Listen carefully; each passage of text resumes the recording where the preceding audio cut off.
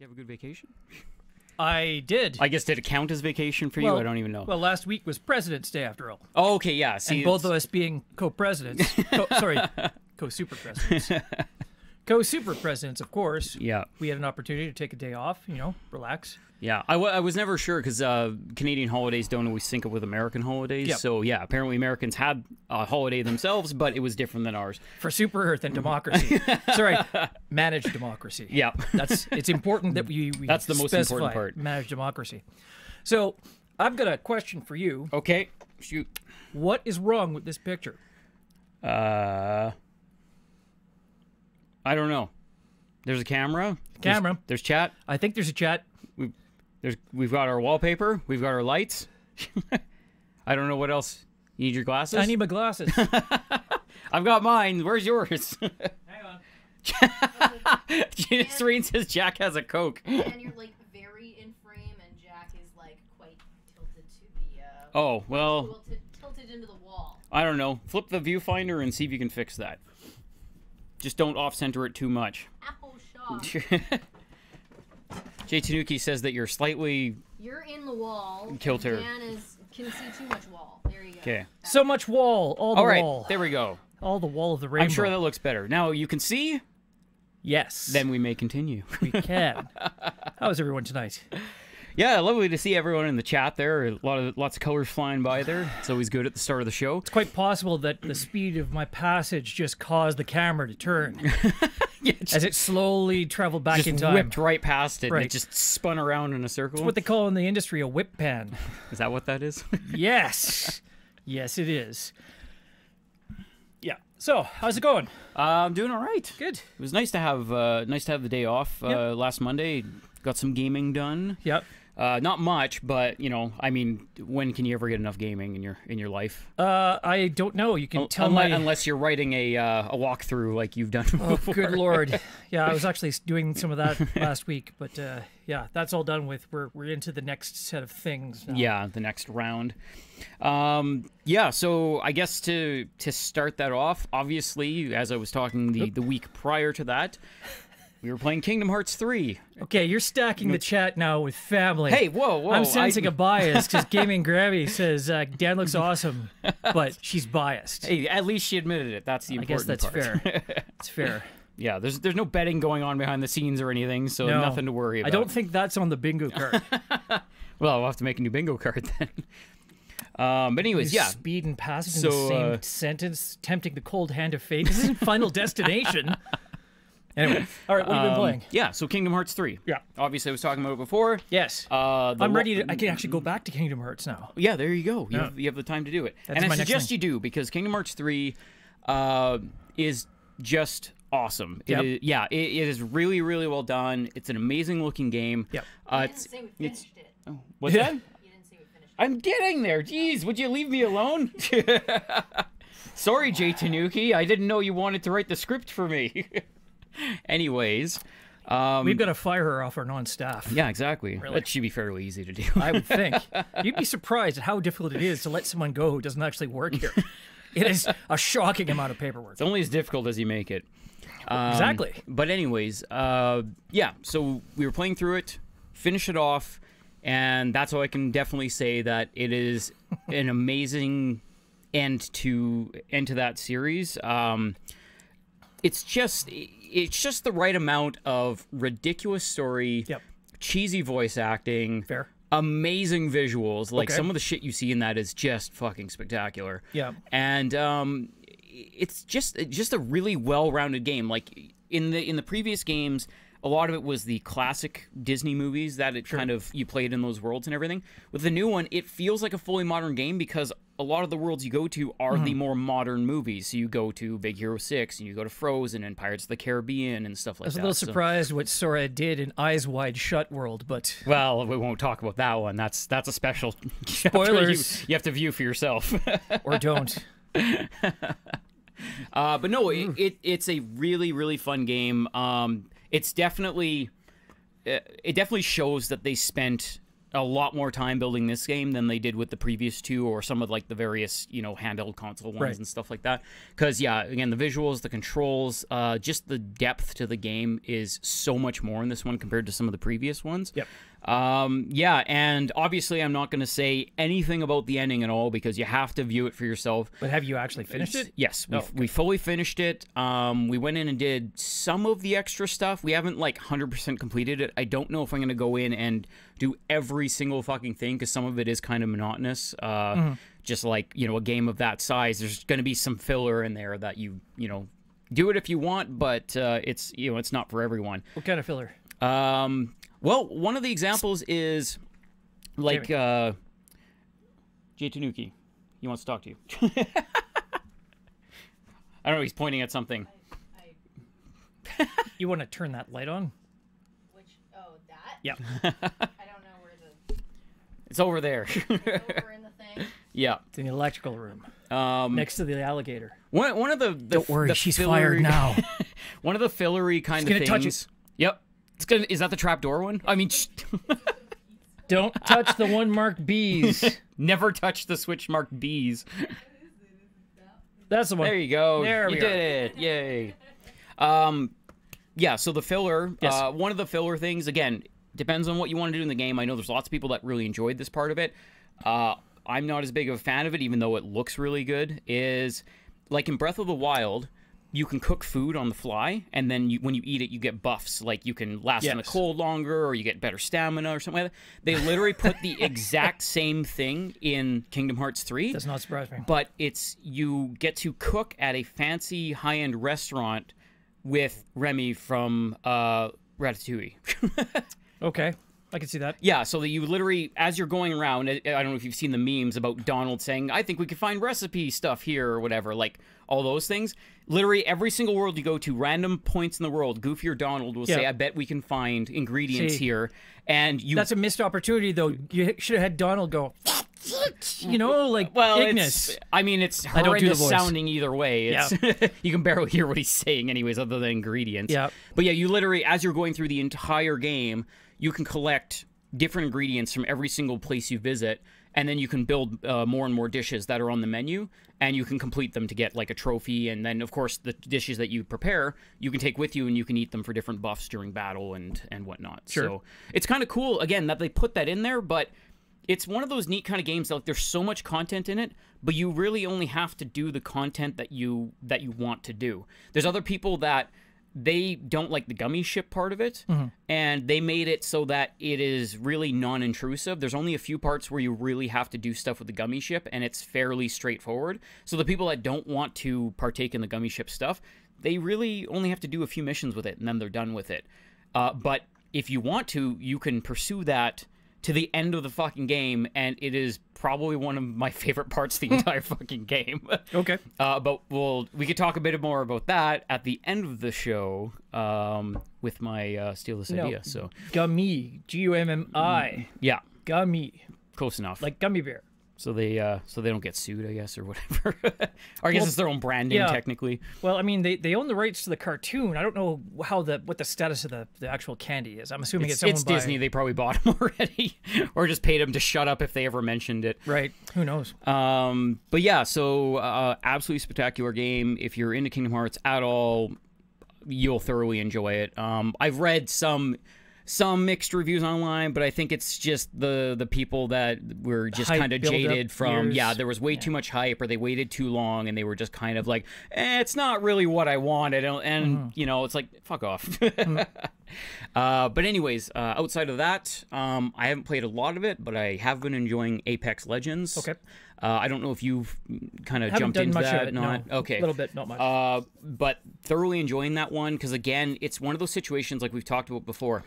Uh, you take you take a genre that becomes you know the hot topic, and then it's better when everyone kind of dives in because everyone will kind of like put their own spin on it, or they'll just try to copy it and it'll just be a copycat and it'll be boring. But with this one, they did it right because they took battle royale, but they made it something that's actually interesting to play. uh, because of the the three person squads, the weapon and character selection. Because again, uh, I, I can't remember if we had mentioned this, but basically when you're playing it, it's a little more like playing battle royale in Overwatch. Sure. Because each character has their own special abilities and stuff. You're not just diving in as you know generic soldier number one and then just finding weapons or whatever. Yeah, it's like a hero shooter. Yeah, so you can you can go in and you can balance that team really well, or if you're idiots and you know the other guy took the guy that you wanted, then you can just try to take a shitty guy and then screw your team over. I just want to unpack this statement here. Uh, when you shoot people, they don't turn into an eight-story building. oh yes, yeah. And Hate Machine had, I think he had posted that that tweet in the chat before or something like that. But that was probably the best example of what you do in Fork Knife is that you shoot at someone and they turn into an eight-story building. That's about right. you know, suddenly they're taking up uh, architecture and you know, yeah, Never like, fight a contractor. Oh, I'm taking damage. I better start carpentry. yeah. See, if this was a real thing, they would have to get permits. You know, they would have to get clear it with the city. You know, That would make for a really slow battle royale. Wait, wait, stop shooting me. I gotta build something. Yeah. But I gotta go cut the red tape first. and the contractor's like, well, you know, we could get it done fast, but hey, we get gotta get f- permits filed, and oh, my guys are tired, and we're on break in 20 minutes. is that a, is that a Ah. bullet bearing wall over there? uh, but anyways, yeah. So thoroughly enjoying that one uh, for the little bit that I've played it. I definitely want to get more into that one, just because again, it's it's one of those ones you can tell it already has a great community under it. Um, and again, it just sets itself apart like that. And they are they've already shown that they're adding more and more content. They've already been talking about uh, possibilities of like some new characters that they want to add. They've already added a new weapon. They're already talking about new uh, training grounds that they want to add so that you can actually test out more of your abilities and everything before the game. So definitely looking forward to all that content because right now when you when you jump in, it's a lot of flash, and then you're just like, okay, this is awesome. I can see where it's going, but there's going to be room for so much more awesomeness in that game. So I'm definitely looking forward to that. Cool. And I didn't have to give EA a single cent. So yeah, but they're earning money regardless. I mean, yeah, there's going to be other Yeah. people that are, you know, you know, paying their way, but whatever. It's all good. How are you short on pylons already? Didn't you get like the six pack of pylons when they were on sale? It's a limited time offer. Yep. Uh, yeah. So what have you been up to? Well, uh, I finished off, of course, last week.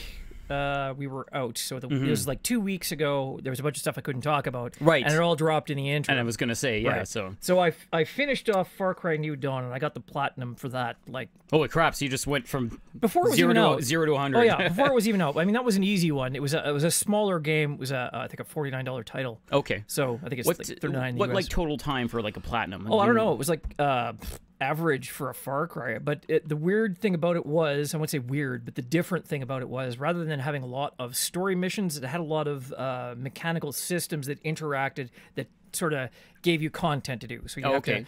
to um, go and attack this base, right? And Mm-hmm. uh, the way you got certain crafting materials was uh, like certain ones in particular, like uh, I think uh, was it ethanol or something, which was the fuel essentially. Okay. But uh, the only way to get that was to attack enemy strongholds, and when you attacked them, uh, you got so much, and then you could then uh, sacrifice them. Basically, you, you scavenge them for stuff, and you leave, and they reoccupy it, but they they f- like fortify it. Oh, okay. So it becomes stronger and then stronger, and the more bigger it gets, the more likely you are to scavenge better materials. Okay. So uh, Does that does that go on forever? Or is there a point No. where they just stop? Like, I think after the third or fourth iteration, that's the highest it goes, and you'll just get that amount all the but time. they'll always occupy it though, so you can always go back for more material Yep. if you need it. That's right. And then there are uh, expeditions, which are like uh, little self-contained missions to other other maps entirely. Mm-hmm. So there's like one that goes to Alcatraz, like literally Alcatraz. Okay. And uh, there's one that goes to like this crashed plane. It's like actually it's a uh,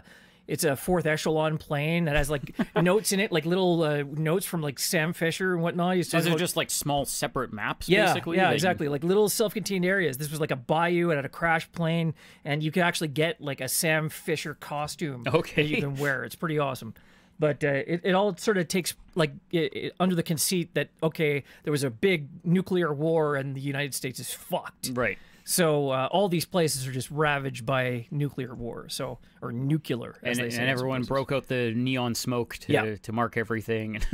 So- spray paint everything pink and blue. But basically, uh, Far Cry New Dawn is an interesting take. It was very much like a U- Ubisoft Assassin's Creed style take on a Fallout game. Okay. So it had a lot of crafting, it had a lot of uh, good gunplay, and, and man, I was really missing having those guns coming back to some of the other games I'm playing afterwards. So, uh, Are they man. like really creative weapons or No, it's just that you you had the ability to uh, level them up, and you could improve them with additional crafting materials and Oh, whatnot. okay. So you could build them up and up and up. So not only could you build like uh, four different tiers of weapons, but you could then, after you've gotten the the big weapon, you can then spend additional crafting materials to improve its stats. So is it is it the type of thing like you get like a basic assault rifle, but then you can put on like, you know, like a better barrel, a scope, a bigger clip, like No. that kind of thing, or is it just improving damage and range? and- exactly. Oh, Yeah. okay. But I mean, you pick which one has the type of thing you want. So if you want a silenced weapon, it's this. Yeah. You want a silenced SMG, you want blah blah blah.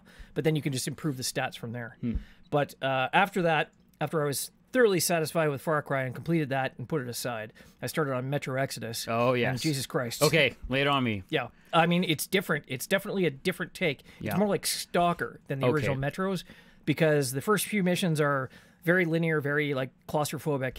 And then after that, you uh, are out in the wilderness. Right. And it is like a huge map. Yeah, because wander Stalker, that's over. literally what you Right. did. Was it's just like here's Chernobyl, go like Right. that, that was it. So you go all over this huge map for something like the next 20 something hours. And then you get on the, the, the train again and you go to a different huge map. oh okay. And there's like different levels like that. I've not yet finished the game. I am I don't even know how many hours into it, but uh, this is literally only the the third or fourth level is this big area. Mm-hmm. But then it's like you do like 14 something missions in it. So is That's is an exaggeration. Is it's it a lot. kind of like the same concept as the original games where it had like in the loading screens in between missions, you had like the map where you were traveling along the metro Yeah. to the different areas. They were just much smaller because they were typically in the metro, in tunnels, in caves, Right. and sewers. Well, yeah, it's like the, the, it's the same kind of hub and spoke thing, basically. yeah, but this is just like each time you hit one of those points, instead of Right. it being this big, it's this big. exactly. you get off the train and it's like, wabam. okay. So yeah, uh, granted, the the load times for the game are horrendous. Oh yeah, But once it they once it does load, like it doesn't do it Mm-hmm. it's seamless then. Right. Yeah. Yeah, so it's it kind of like what uh, Metal Gear Solid 4 did. Like Right. right at the beginning was like, "Oh my god, when's this going to Yeah, load?" you sit you sit there for like two minutes, but Yeah. then you can walk around for four hours in this Yeah. gigantic map, and it never has Exactly. to load again. And, and the graphics are fantastic, which both are good and bad things depending on what's coming at you. Of course. because they are not pretty now. Because the horrors are just that No. much horrific now, right? Yes, yes, and they're very similar to what you saw in the past. You had the Watchmen, you had the, the shrimp with their big sucker faces and pinchers. Yeah. and- Do yeah. they have those creepy as fuck librarians or whatever? I've not The- found them yet, but I'm only assuming Is that I what they are? Yeah, Librarians? Yeah, the giant were- mutant gorilla things. Yeah. That'll like smash your face in in like one hit. they were nasty as fuck. But yeah, I, I they it was were like they were bad enough, Yeah. but the fact that they were in like pitch black buildings and sewers and stuff like that just made it that much worse. you had to go around with your night vision on, moving very, very slowly. yeah, exactly. You didn't Yeah. want to anger them or anything, but yeah, Yeah. the, even then they would just you look at them wrong and they're like ah, and they just knock your head Oh, in. and thank you for the follow. The name is Bond. the name is Bond. James Bond. Welcome to the chat, and thank you very much for that follow. Thank you, sir. Um, so, okay, so I have to ask though because Oh, and a new host from Captain Quench. Oh, thank you Welcome very to the much. stream, Captain Quench. thanks for the host you get a shout out for Captain Quench and and, of, hello TK. and of course for TK Star. um, okay, I have to ask Yes. because this was always a thorn in my side with the previous games. Gas masks and filters. Yes and no. What of them in this game? Because I was always I was confused by the trailer because it, it looked like you had some fresh air in this trailer. That's the interesting part about it, and I'm not going to tell you why. Okay. but there are parts of the world where you do not have to wear a gas mask all the time. Okay. Now, here's the other part about it that's Yeah. even more interesting. Uh, Metro has a crafting system. Okay. You can make filters. Nice. I like that Yes. much better. yes. So you still have to uh, like I'm not I'm not your- dicked if I can't find a filter. Oh, and like- thank you for the follow, Uh, Zealous Zem. Zealous Zam. Zealous Zem. He's zealous and he's Zem. Thank you for that follow and welcome to the chat. Hope you have a good time. As, as long as he's not overzealous Zem. That guy's a dick. No, no, it didn't. It clearly didn't say over, so Yeah. we're, we're good. This guy's cool. Overzealous Zab is like always in your face. And fuck that guy. Anyway, so yeah, you, you can craft your own filters. You can craft. No, oh, on your back, actually, you have uh, the ability to craft certain things wherever you are in the world. Okay. So you can craft like Molotov cocktails, uh, basic equipment, uh, filters, and uh, what was the other thing you can craft in that slot? Anyway, basic stuff. Yeah. Oh, like throwing knives, and uh, there's lots of throwing Of knives. course, throwing knives. Throwing knives are so awesome in Metro every goddamn time. uh, but in when you go to a uh, crafting table, you can actually swap out uh, the components, your your weapons, components on your your armor. Yeah. Things like upgrades to like uh, you can get like a, a compass or a uh, metal detector or uh, a few other things. So is he is he a little more savvy this time instead of carrying around a Yes. clipboard like he did last time? No, you do still have the clipboard. Oh, okay. But it's got like the compass on it. You get the map. You flip Yeah. it over. It's got your objectives on it. Okay. You know eh, the whole thing. But um, when when you go to a, a table, you can actually craft ammunition as well. So you you're, He's changing his name to Underzealous Sam. no.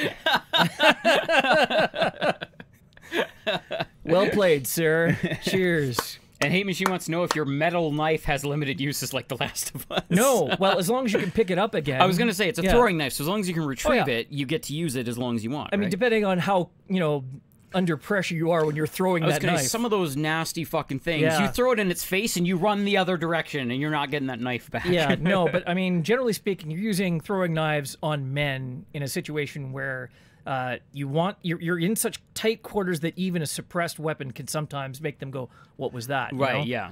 So, uh, and and believe me, uh, these st- these guys still do get a solid thunk when they get hit with the, the knife. It's like ah, and you know they. That's that's good. You got to Oh, feel the weight very satisfying. Yeah. So yeah, but as long as you go over and his body is in a retrievable place, like most times you can pick up the knife. yeah. But I mean, you can build more. There's only really two um, ingredients. There are chemicals, and then there's like scrap, so Okay. scrap metal, Yeah. and that's all you have to manage. Everything else is just built from those. Okay. So it's very basic crafting and easy to, to use, and uh, you can get different uh, upgrades for your armor that will improve uh, either your ability to carry ammo or Yeah. um, yeah, throwing knives, etc., etc. So Things is- like that. Is there any upgrading your person, or is it just your equipment? I think it's just your equipment. I haven't Okay. seen anything like that. I, I, I didn't know if there was like No. Sh- shit that you could like eat that made you stronger against radiation No, or no, made you have more health or something like No, that. No, nothing like that. Although you do get different filters. You have mask upgrades. Oh, okay. so that is So again, something- it's equipment though. Yes, So that's good. yes. Uh, but yeah, you could oh, also when your where your mask gets fucked up and your like eyes, uh, you have a hole in your your gas Yeah. mask. You actually see him like if you you have a button to wipe your mask. Right. And if you do that when he has like a, a, a hole and he starts gasping, Yeah. you actually take a little piece of tape and over the eye mask, and it's like it's like in your vision, right? That's awesome. It is awesome. So good. But then when you get to a crafting table, you can then fix your mask. Yeah. So it's not all fucked up anymore. Okay. So See, it- that's that's good. That was one of the issues I had. And again, it made perfect sense for the Yes. game. It was the brutal like universe of Metro and everything. It made sense in that universe. But again, it's like with this game being bigger and more advanced and stuff like that. I like that idea that they have. You're not always constrained to Yeah. finding a brand new mask if your old one's broken, and No, no. finding filters. And there's only like three of this, them in this area, and that's it. Like No. it's It's a lot more accessible, and there are a lot of guys whose corpses can be looted. So let me Awesome. tell you. Yeah. Uh, so two things. It, it is simultaneously good and bad that that's the case. Mm-hmm. I like that it is a little bit more accessible, but I I'm only playing it on a low low difficulty level. Yeah. So there's a lot of difficulty levels above that if you really want to Mm-hmm. So challenge. if you want that experience that Correct. the other games gave you, Correct. the other thing is it also does have a uh, good and bad ending or a variable ending. Well, I mean, a lot of them did. Right. Like they all, the other pri- previous ones both had Correct. two endings, yeah, right? Yeah, they're like morality based. But in this one, you have uh, a uh, a group of uh, other guys from the Order, which was the your, your uh, the Spartans from the first and second game. Right. Um, and depending on what you do through the course of the game, some of them can die uh, Okay. due to like plot related things. So if you can keep them all alive, you might have the good ending. But if they start dying off, you You're, pretty prob- much you're probably gonna have the bad ending. not the greatest ending.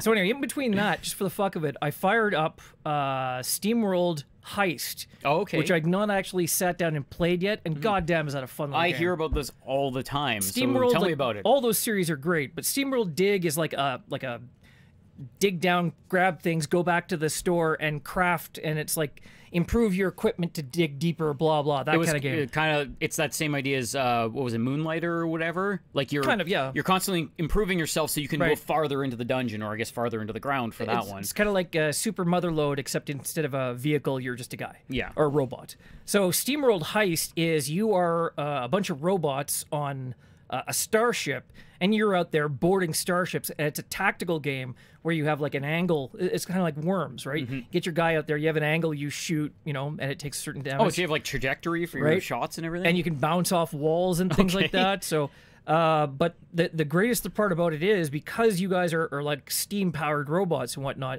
Your currency is water because that's the thing that, that keeps you going. right. So uh, you have different equipment, like different weapons, different uh, like add-ons you can get, and then you have a hat, so you can customize your robots. You got, well, you got to be able to tell them apart, right? Sometimes though, if you're in the middle of battle, it's like, do I want to shoot this guy, or do I want to shoot his hat off? Because he's got a really cool that's, hat. That's how you earn hats. You have to shoot them off your enemy, Right, and then you go pick them up. I don't think it's as simple as that, but I, I've found that if I if I shoot the hat and it comes off, and Yeah. he's like, oh, you know, dead gum, son of a, you know, dances around, the hat will like glow, and you go, oh yeah, pick it up, and so, uh, so yeah, uh, some of the hats are, are really shitty, but I've got some pretty awesome hats now. Sweet. Yeah, there's one that's just a a frozen brain in a cube. I don't Like know a what that- giant ice it's, It's cube? like a brain, and it's like half melted, but it's an ice cube. I don't I know guess, why. I guess if they wanted to throw a bunch of hats in there, they had to get creative with some Th- of them. there are a lot of hats, just Yeah. like the, the Russian hat, you know, like the big fur hat. Hey, hey Missy, there's awesome. additional hats available in the online store for three ninety nine per hat. I don't know. is Mask it- repairs, yeah. like uh, I don't know if you've played the other Metro games, LSM, but believe me, like this one is it's different. It has a different feel to it. But I've not finished the game. I'm assuming that it's going to be more uh, surreal. Yeah. Because they, they always had that not not supernatural, uh, but it's always a very strange twist at the end. You know, you're not just like you know in in radiation in this subway. There's always some weird shit going on behind the there was the ghost train. Yeah, exactly. and they like the, the various whispers and crap you hear. So I think they've moved away the, from the that a little bit. flash of light and the oh, the, the dark the dark ones, and Yeah. all your visions and shit. They were Yeah. all psychic. Yeah, such a great series. yeah, the mask wipe was useless. It was like like muddy water and wind windscreen wipers just like smears across your fucking mask. Well, it's better than when you've just like gutted a guy and you've got his blood all over your mask, you know, or dirt's flying everywhere. You know, it smears Yeah. it. You've got a little bit better vision, but in this, the only time you have to put on your mask is when you go into a radiated or a toxic area. Right, yeah. Which, depending on what the environment is, so all this big open world environment, for the most part, you can get away with taking your mask mm-hmm. off. Yeah, that's like good. I said, like that's what Yeah. it looked like in the trailer. So I figured, yeah, there's gonna be, you know, irradiated areas of land, and there's gonna be toxic sewers and Right. stuff like that. So that made that made sense. Yeah, but I, I won't tell you the, the exact reason why, but it's like it, it kind of uh, plays a little bit into the plot line of Metro 2035, which I've just started to read, Okay. Which ironically is kind of telling the tale of Metro Last Light as well. Oh, really? Which did not follow the plot of Metro 2034. So there's a lot of They're trying to bring them back in yeah, line. there's a weird cross pollination that's going on, and I think this is the like. Uh, I think Dmitry Glukhovsky said that this is going to be the last one he writes. But Oh, okay. Who the hell knows? But uh, anyway, long story short, I'm enjoying it. And uh, SteamWorld Heist, I wanted to play that because they have that new SteamWorld, I think it's SteamWorld Quest that's coming out oh, I didn't this even hear year. about that one. Yeah, they, showed it at um, I think it was last E3 or it would have been. It, sounds, like they're taking the same concept, but then like throwing it into a bunch of different Yeah. genres. oh yeah, basically it's, it's uh, just entirely different. It's kind of like Oddworld. yeah, yeah, they do a lot of different things with the with the one kind of license or Yeah, whatever. but all their games so far, and I say all of them, two of them, they're all solid. So Sweet. All right. So, this is, of course, Digital Fiasco Live, episode 58. We're going to talk about all the latest news in PlayStation, Xbox, Nintendo, and PC gaming. But first, we want to talk about our picks for the Triple D. Yep. Uh, so Triple D this week. Um, Discs, downloads, and DLC. yeah. Uh, the first one that comes up uh, was one I hadn't even heard about, but I had to go check a trailer out for because I liked the the art style of the picture. And I was like, all right, I wonder what this is. Uh, so it's called Wartile. And basically, what this is is by uh, Deck 13, the same guys that did the Surge games. Uh, and this is really interesting because it's like a an interactive video game version of a D&D board like tabletop board game. So it gives you this tiny little swatch of map with a bunch of hexes on it and literally all your like little characters that you're controlling are on like little discs. So it's like you're playing a D&D game but everything is uh, like fully animated when they attack and move around and everything like that. I would watch uh, some video reviews of that one if I were you, because if I'm not mistaken, on Steam, it's sitting at about a six. Oh, okay. I yeah, like obviously, I always look at reviews Yeah. before I get anything, anyways. I was interested in it too, and I, I kind of looked at it like, oh, I haven't heard of that one. And I looked into it, and it was like, huh, maybe I'll maybe I'll just hold off a bit. Yeah. So Yeah, it's always worth a look, though. It just it looked interesting because I hadn't seen many uh, many did. games that looked like that. sure. Um, next one up, uh, a big one for Trials fans. the next Trials game, Trials Rising, is coming out. Uh, this is, of course, for any, those of you that don't know what a Trials game is, it's one of those flippy dirt bike games, Flippy dirt bike games. which are honestly they're kind of my jam. I, I love them. They're just su- such stupid fun. as elevator pitches go, that's been And I pretty mean, succinct. honestly, with these ones, they just go crazier and crazier each time. Because before they used to just make it was like you know it was just a trials game. Like you were just trying to finish the course, and that's all you do. You're racing your bike or whatever. As they went along, they actually started attaching really ridiculous storylines to a lot of these, and now they're just there are storylines to them. Oh yeah, yeah. Like the last, uh, the last two before this one, and then this one are all like heavily story based. So, which I, I just find ridiculous. you but killed my brother. it's kind of awesome. Plus, I mean, you unlock like a whole bunch of other ridiculous bikes. I think the last Sure. one you could literally unlock a rainbow farting unicorn that you rode instead of a dirt bike. so yeah, uh, ridiculous, fucking on brand every single time. Uh, so you go check that one out. Feel like those games, it's going to be more of the same. Ever since Pony Island, man, I don't joke about unicorns. Especially rainbow farting unicorns. that shit is weird. Yeah. Pony Island. What, what, what haven't they brought Pony Island to PS4? I'm actually quite surprised they haven't. Maybe it was just too weird for for. It was really fucking weird. Like it started off, why am I playing this? Yep. And then it went, holy shit, why am I playing this? Yeah, but you couldn't stop, could It was you? no, it was it was compelling, but it was weird, like on a level I had not expected. yeah, exactly. All right, what else? Um, next one up uh, is one we're both actually interested in playing. Are you uh, sure you ever left Pony Island? ToeJam and Earl back in the yes, groove. that one's So, coming out on Friday. Way back uh, from the Genesis era. Yep. Um, I haven't heard any reviews on it or anything yet, so I'm I'm looking forward to seeing what that one's all about. Steven, our managing editor at PSU, actually is playing it for the review, and he'll have a, a review up shortly. But he has mentioned that they just had a uh, patch, I believe yesterday, a day one patch uh, that now has uh, multiplayer attached to it now. Oh, So, sweet! I was- Multiplayer network I play. was gonna say it's kind of uh, almost a necessity for that Right. game. So- I mean, you don't want to be ToeJam or Earl. You want to be No. both of them with your friend at the same Well, time. yeah, basically. Um, next one up, to be the Supreme Funkatron. this one, uh, Stellar, uh, Stellaris or Stellaris? Stellaris. Stellaris Yes, console edition. So tell me about this one because I know nothing about it, and you seem to be super hyped about it. Well, I've played it f before for the PC, and we are actually giving away a code for the PS4 version Oh, of we go. Stellaris, courtesy of PSU, uh, and of course uh, uh, the folks at uh, Paradox Interactive. Uh, Stellaris is a uh, Master of Orion style 4X game. Okay. and for the first time, it's now available on the like home consoles, so the PlayStation 4, the Xbox One, uh, Xbox One X, S, whichever. Yeah. But yes, but it is a 4X style game, and you can create your own race as well, I believe. And you build your ships, you send them out, you uh, try to make peace while you're building all your ships in the background, and then All you right. crush them under your mighty iron fist of Oh, no, no, domination. we're, we're, we're talking marketplace over here, and then everything swoops in from behind and shoots everything with lasers. You cannot get it on mobile. No. no. There it is. Stellaris Console Edition. Yeah, but we're giving away a copy of that code for PS4 uh, sometime today by the end of the show. Sweet. All right. Oh, Um, if you've not already had a chance to go ahead and uh, uh, sign up for that, check out our website, digitalfiasco.wtf slash contest, and you can sign up for that. In maybe the Jay, Canu- Jay or so. Could link that because I think there's a link to the. It's in the tweet if you just want to copy it over. Okay, there Yep. we go.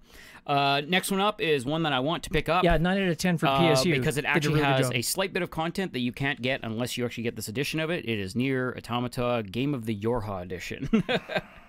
so again, with the ridiculous names, of course, Yorha being the team in the game. I don't it. care. I fucking love this game. I want to play the DLC. It comes with extra content because it is the special edition. I need to buy it because it is it is one of my most favorite games of all time now. So Game of the Yorha. though. Yep. Like, that's, that's just not necessary. I mean, that's they're they're having fun with it. You know, leave the pun titles to THQ Nordic. They have a lock They- on that shit. They do. They do like their pun titles. So, hey, Like Two, welcome to the chat. Hey, Rutu, how you doing? Yeah, brilliant marketing. Yep. GOT Yorha. God damn it. So, Uh, so what's the extra part? They have that that weird DLC that's like just a string of numbers, yeah, and they have some costumes and stuff. There's some extra costumes, and then uh, there was ah, fuck, I can't even remember what it is now. There was some extra bit of content that people were were kind of complaining about because they were like, "Oh, I own the game and I bought the DLC," and Hmm. then there apparently there's this extra bit of content that you can't get unless you get the Yorha edition. I hear that there's also a costume where you can dress up as a, Ka- uh, K- Kaine or Kane from the first game. as Yes, well. yeah, that is one of the DLC costumes. It is very weird to see to be dressed up like her. I mean, Very weird. whatever works. it's all fan service. Oh, it works. I tell you. Um, up Anyway. next, um, some more Lego goodness. We're getting the Lego Movie 2 video game. So Right. if you like the Lego games and you like the Lego Movie, you'll probably like this one. See, Lego Movie 2 video game might actually uh, cause me to violate my no more No Lego, more Lego video games. games. uh, I, I absolutely adore that series. Yeah. Lego Movie 1 was one of probably my most favorite movies of all time, actually. It's so well done. You, well, you should play the game with that. for all the yeah, extra that's the content. thing. That's the thing is I Yeah. never, I, I haven't actually played the game version of it. Yeah. So you will remember parts of the movie that didn't happen. That's how good the game is. I mean, they got to add that content Yes. to the game. So What is this? What is this? Made too many Lego movies? That's a lie. Uh, wait for a game that is a pun. that is a game of the pun edition. Oh, she's saying that that the contest URL says that it, it's Oh, well, showing it- that it's closed. Oh, it's Cl- that's right. It ended at the time we started, so I can extend it for an hour. Just Is, to is while that going to take are. like two seconds, or is it going to take five minutes? It'll take two seconds. You Okay. keep talking about the the. Okay. Ds. I'll be right here. Um, another one. I think the review is either coming up or it is up at PSU, uh, or it's going to come up tomorrow. Uh, it's for Dirt Rally 2.0. So if you're into um, heavy duty, ultra realistic rally racing games, that one is definitely for you. So a lot like the I think the Colin McRae ones and stuff like that. Uh, tons of fun with those ones because it's basically the Gran Turismo of rally racing. Uh, and then, oh, one that Jay Tanuki is especially excited about, Dead or Alive Six. So, you want some, uh, you want some bouncing titty fighting? Uh, it is coming out on the first. Oh, gosh, Can I just it- pop in and talk about Opie and Ichi? Yes, please. that's what happens when you leave your seat, Jack. I just pop in. Let me tell you about the gloriousness of Dead or Alive. it has the most convoluted story imaginable, and yes, a fighting game can have a story, even with all those bouncing jubblies waving to and fro. I mean, as we've seen with Tekken and Street Fighter and stuff, they can all have their own stories, but Dead or Alive definitely has one of the weirdest, most out there fucking storylines to kind of tie, like loosely tie everything together. but listen, those ladies. if you are a cultured individual like myself, you will appreciate every single one of them. Oh, it looks like Jack's back. so, Jack, you like Dead or Alive? They have porn on the internet, you know. If you want porn, just get porn. No, I mean honestly, outside of the ridiculous boob physics in these games, I I'm actually a big fan of the Dead or Alive series because I do like the fighting in it. They have Um, fighting in it. Well, yeah, they fight with their boobs. They slap each other. with them. Okay. Uh, but yeah, Dead or Alive Six, the newest one, uh, coming out on the first. Uh, so you look forward to that one. And Brave women are fighting for their rights. Dead or Alive Six Suffragette Edition, right? And the last one that's come up is also out on the first, and I am currently working on a review for it. It's called Awesome P, and that's P E A, not P E E. I'm not sure that's better. And basically, what it is is it looks like a Game Boy style game, so it's all in the kind of like well, pea soup green, Sure. to, you know, color tones, Right. Uh, but it's like a mix between a puzzle platformer and Super Meat Boy. So you're a ridiculous little you know green pea character, and you're just running along at lightning speed, bouncing on a bunch of platforms, trying to get to the end as fast as you can. So. Looking forward to uh, finishing that one and, and doing full review for it. I don't know what I was expecting when I heard the title, but Well, here I can show you like- the picture, and No, it probably that's- sells it right there. that's that's, that's about right. I mean, that's exactly what I expected but, to see. Uh, being a big fan of Super Meat Boy, as soon as I saw this one, I was like, "Yep, I'll take on that oh, one." that explains a lot. Yeah, I like it. The graphics instantly make sense. yeah. Okay. So you're, you know, you're a little, little tiny character just bouncing along through Sure. platforms and stuff. What is this guy's obsession with food and, you know, dinner substances? I don't know. I don't know him. I I don't know what it would be. So, but anyways, uh, yeah, I'll be doing the review for that one. Hopefully so, it's good for him because Super Meat Boy was pretty awesome. Yeah. Okay. Uh, I don't know if you have anything else to add well, to the list there. definitely. You know how big a fan I am of racing games. Yeah. You love them. I said you know what a big fan of racing games I am. What other racing game is coming out? Uh, Dirt Rally 2.0. I said coming. that one. Oh, did you? Yeah, Oh, you were, probably you were off away. doing that shit. All right. Did you say 8-bit invaders? No, I did not. You say know what a big one. fan of invasions I am. Doesn't matter. I also didn't mention that one because I wasn't the biggest fan of 8-bit hordes. Yeah, Um, they've got a few games like that. Well, they I had 8 bit armies. Yep. Then they had 8 bit hordes. Now they have 8 bit invaders. Now, the cool part, I will give it to them on this. Yep. Again, uh, they're trying to make a, a simplified RTS that you can play on the console, which they, you know, they did. It's not my favorite, but there's a lot of people out there that like it, clearly, because they keep making these games. The best part about it, though, is that all of them are cross cross platform, and you can play with all of the previous armies and invaders and uh, horde all together. Interesting. So you can, as far as I know, anyways, that's what the previous game, the one that I reviewed. Sure. You could literally play orcs versus armies if you wanted to. You have to unlock them, but they're there. So I'd imagine invaders, so you can play aliens versus armies or future tech versus you know the medieval humans or whatever, like any mix you wanted to do. I hate to beat the drum again, but it'd be interesting if they had different genres for each game so that you have like aliens versus the army on a cooking show or something. like that would be a more interesting mashup. Save that for steal this idea. Then. Okay. All right.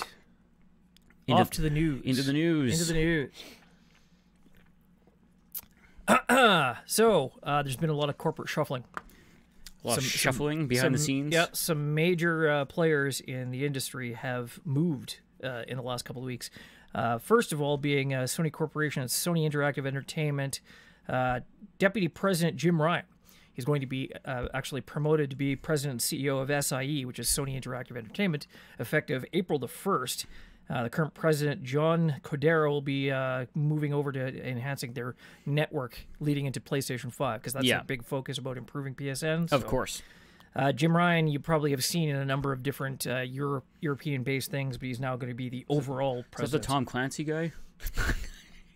Looks like Tom Clancy, kind of. Jack Ryan. No, no. Jim Ryan, he, he looks more like Tom Clancy so much as a character written by Tom Clancy. All right then. He is not going to be snapping any necks anytime soon. Although that would be an interesting game because he looks kind of like your average uh, grandpa kind of person, you know, in a suit. Grandpa choking and, and snapping necks. yeah basically it's like uh, uh retirement home agent 13 kind of thing you know uh oh 17 it's been a while since i played hitman i don't know anyway so uh he is retiring uh, pardon me he's moving on to the the president and uh uh is moving on to this network department um also of course uh reggie fils-aimé is re- is leaving nintendo after 15 years My, my Twitter was ablaze for the past like you know few days with Yes. just nothing but Reggie memes and saying his uh, their, their farewells and all that kind Oh, of stuff. he, he has so many memes. I Like, mean- my body is ready. Yeah. Uh, uh, what was it? Not my problem. Like, Well, I mean, like the people, PSP people one, all right.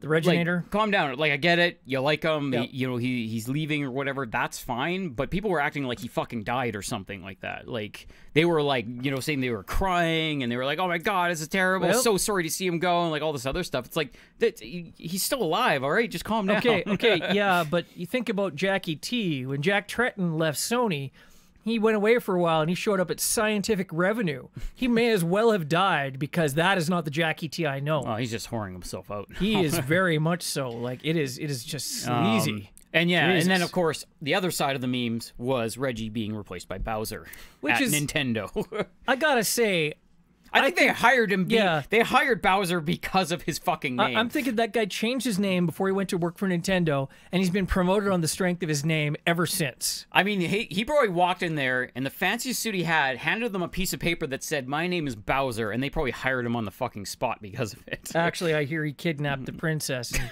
wouldn't give it back till they gave him a job. That was the deal. It was a hostage negotiation. well, that's aggressive for a for a first interview. Well, you know, that- it's how you get attention. Sometimes you got to do what you got to do. Uh, so he is uh, moving on as of April the 15th. So that's crazy. I, I don't know who this uh, uh, Bowser guy is. well, the only thing? I the only thing I've heard, Doug which Bowser is is which his is kind of, um, it it makes it kind of shisty. I hope he doesn't follow through with with you know some old practice and stuff. He used to work for EA, so Well, I, a lot of people used to work for EA. for years though, and with EA's practices, I Yeah. really hope he doesn't try to bring some of those over. Well, I, I'm happy with Nintendo because Yeah. again, they're off doing their own thing.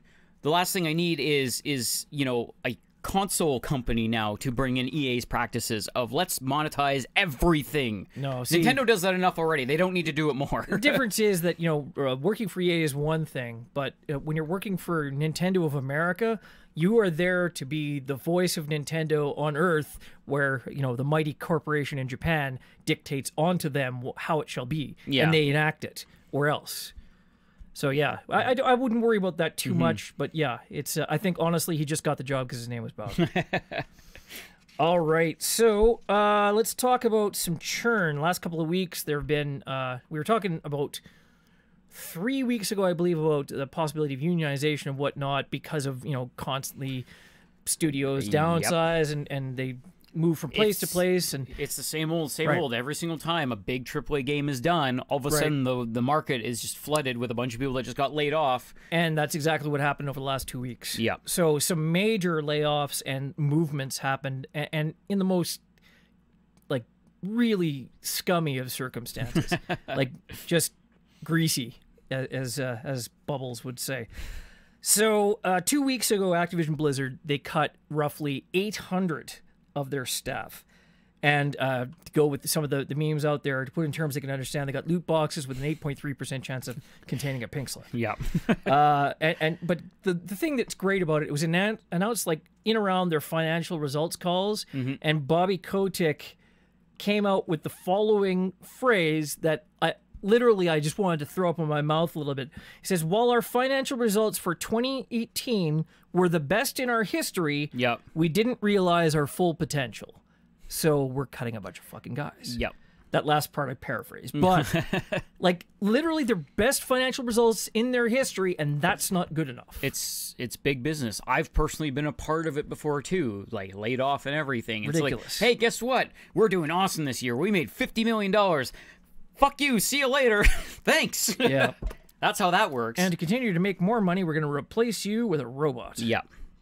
Robots are too expensive. We're going to replace you with a, someone from overseas. Okay.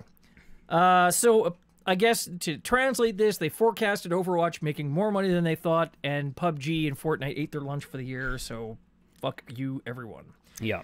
Anyway, uh, Oh yes, and then of course Hate Machine points out at the stuff that we've been pointing out is that CEO and shareholders get their one million dollar bonus yes. every year though. No, no, I'll get to that. That's the next thing. Oh, okay, there you Uh, go. Guild Wars 2 studio ArenaNet followed suit. They laid off uh, significant uh, significant cost cutting measures. They laid off um, an, an in, unspecific amount. Mm-hmm. They didn't say, but apparently the rumors are that it's a, a significant number of people in the studio. Mm-hmm. Uh, and then EA.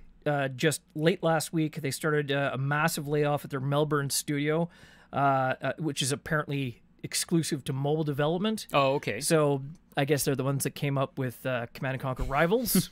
so I feel a little bit less bad, but uh, and, and you know Sims Mobile and a bunch of other things. But Yeah. uh, here's the thing: they are the largest mobile game developer in the country. So 200 something people are being laid off.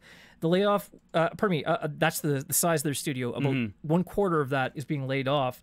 And the Australian chapter Game Workers Unite said the, the job losses were equivalent to nearly 10% of the entire Australian game development industry. Brutal. So I mean, it's a close knit environment, but still, that's a huge chunk of Yeah. people to be out there looking for jobs. Exactly. Yeah, and Damon Blade, yeah, Bungie saw the writing on the wall. They got the fuck out when they could. Well, I mean, how much of that I wonder is because Activision was in a position where they wanted to cut costs, and the best way to do that was to. Uh, like and, and Starbreeze, we're going to talk about that later. They did a similar thing. Uh, Activision Blizzard said, "Okay, you want this publishing deal back? We'll let you buy us out, and you can have the IP and go." and yeah. and then they, they get a cash flow influx and they they're not responsible for publishing Yeah. x number of things and then you know It's a it's a non-cost to them after the Right. fact. They just they they run away with their chunk of money, and that's one less team they have to worry about. especially considering destiny like year over year was not doing as good I'm just again, I think we'd mentioned this before, but I'm interested to see what kind of happens now that they're on their own. If they're going to change things, turn things around because they don't have Activision Blizzard above their head trying to poke and prod their game to get it to do certain things. Yeah. Now Bungie can kind of do their own thing with it and i see don't if they think they're going to have trouble different. i don't think they're going to have trouble uh, attracting investors One of the things I really liked that that kind of came out of this is that um, a lot of uh, other companies really came out of the woodwork after a lot of these layoffs happened because my Twitter feed like blew up with a lot of these companies saying, "Oh, hey, guess what? You were at Activision. We're hiring right now." Or, "Hey, bring all that talent this way." So there's a lot of companies out there that really spread the love, and they were just like, "Hey, come on over here. We're hiring, or we need more people like you." Yeah, so you see that all the time. Whenever you have a major layoffs, all the studios go out to Twitter, to you know the various social media feeds, Mm-hmm. and advertise. Yes, we need people. Uh, and unfortunately, it's just passing from one to the other half Yeah. the time. But uh, what was it? Uh, Heat Machine says, uh, "I wish Bungie would take Halo back." yeah, that I- won't I'll- happen. I'll, I'll see that and I'll raise you one. I wish Bungie would go back and start making the Myth games again, which was their they had uh, a, a army-based strategy, like a unit-based strategy game where you had to manage a fixed army and take certain objectives over the course of a storyline in the game, and that was pre-Halo. That's way back in the day. Those are really good games. so Halo was- Wars. no, they were just just called Myth. I don't remember what the second one was called. I think it was just Myth Two. Pretty sure there was just the two of them. Anywho, um, so here's the thing: there is a nonprofit company called As You Sow. Okay. Uh, so shall you reap is the, the phrase, but a nonprofit foundation, their mission is to provide uh, uh, corporate social responsibility oversight. So what they do, they do an annual analysis. They put this out, uh, how much chief execs make, uh, and they calculate how much they're overpaid Okay. based on a certain metric. All right. I was going to say, how do they choose how much they're overpaid? It, it takes into account their salary, the ratio between uh, that and the average worker at their firm, uh, plus factors like shareholder shareholder votes against the CEO's pay package and total, uh, total shareholder return. So uh, they applied this analysis to the entire industry, and they found two things: uh, two of the most overpaid CEOs out there. wait, wait, wait. EA and Activision. shockingly enough. First, of course, Bobby Kotick, Yeah. like the worst offender of them all. Uh, he is the most overpaid CEO in U.S. history, according to Azure. So his salary was reported at $28 million, $28,698,375, which is 306 times the average Activision staff member. Jesus Christ. Yeah, and 92% of shareholder votes against his package. Uh, apparently, that is, a, according to their calculations, an excess payment of about $12,800,000. That's how much more he's being paid than he's actually worth. Yeah, I don't know. Meanwhile- I just, I, I don't get it. I just, it makes it's- no fucking sense to The me. the rich get richer. It's all about the one percent. Uh, so Yeah, oh, Hate Machine wants to know if that includes his bonuses. uh, I'm sure that that does because I don't think his raw salary is. I was going to say, I don't think he's getting paid twenty No. million and then like fifteen million on top of it if he ships the game or whatever. But I still, it's a gratuitous amount of money It's for a lot one person. Yeah. For for you know a comp- a video game company. Especially when they're talking about, oh, we didn't meet our targets, and now we're going to lay off 800 people. How about um, how about you just take home I don't know eight million and then you give the twenty million back to all the employees you fucking laid off or something like that. Like it's oh, it's mind boggling. Yep. Meanwhile, yeah, uh, machine. It is egregious. It is, it is egregious. Uh, mark that on your bingo card. Uh, EA CEO Andrew Wilson. He uh, was paid roughly in excess of $19 million, according to this calculation. Yeah. His salary with bonuses is $35,728,000. Which, uh, and again, they had 97% of shareholder votes against the package. It stands at 371 times the average EA employee's pay. So the average uh, CEO to worker at most Fortune 500 companies, Yep. the largest 500 companies in the U.S., the, the worst ratio is 142 to one. These guys are like 100, uh, 307 and th- uh, 371 times the average worker. So that's ridiculous. yeah. So I mean, it, they cannot be just coming in and, and pushing all of these guys to do crunch time and then laying them off and then walking away with 30 million dollars. That's yeah, insane. It's it's it's just straight up disgusting. It like is. how it's one of those things that just boggles my mind. If you take if you take home fucking six million dollars a year, Yeah. you can't even spend that much fucking money unless you're like snorting coke off hookers every single day of the fucking year. And even then, I didn't be- realize that was off the table. I was about to say I could do it, but no. It's like, but just like unless you're you're just blowing your money Hmm. on like gold plated yachts and stuff like that. You're getting that year after year after year. What the fuck are you doing with twenty eight million dollars? Like, Yep. what the hell do you even do with that much money? be even better if you know just tomorrow Bobby Kotick has a heart attack and dies, and he's like, "Wow, good thing I worked so hard." Yep. and sure laid he- off all those people. I'm sure he feels great about that. Ridiculous, ridiculous.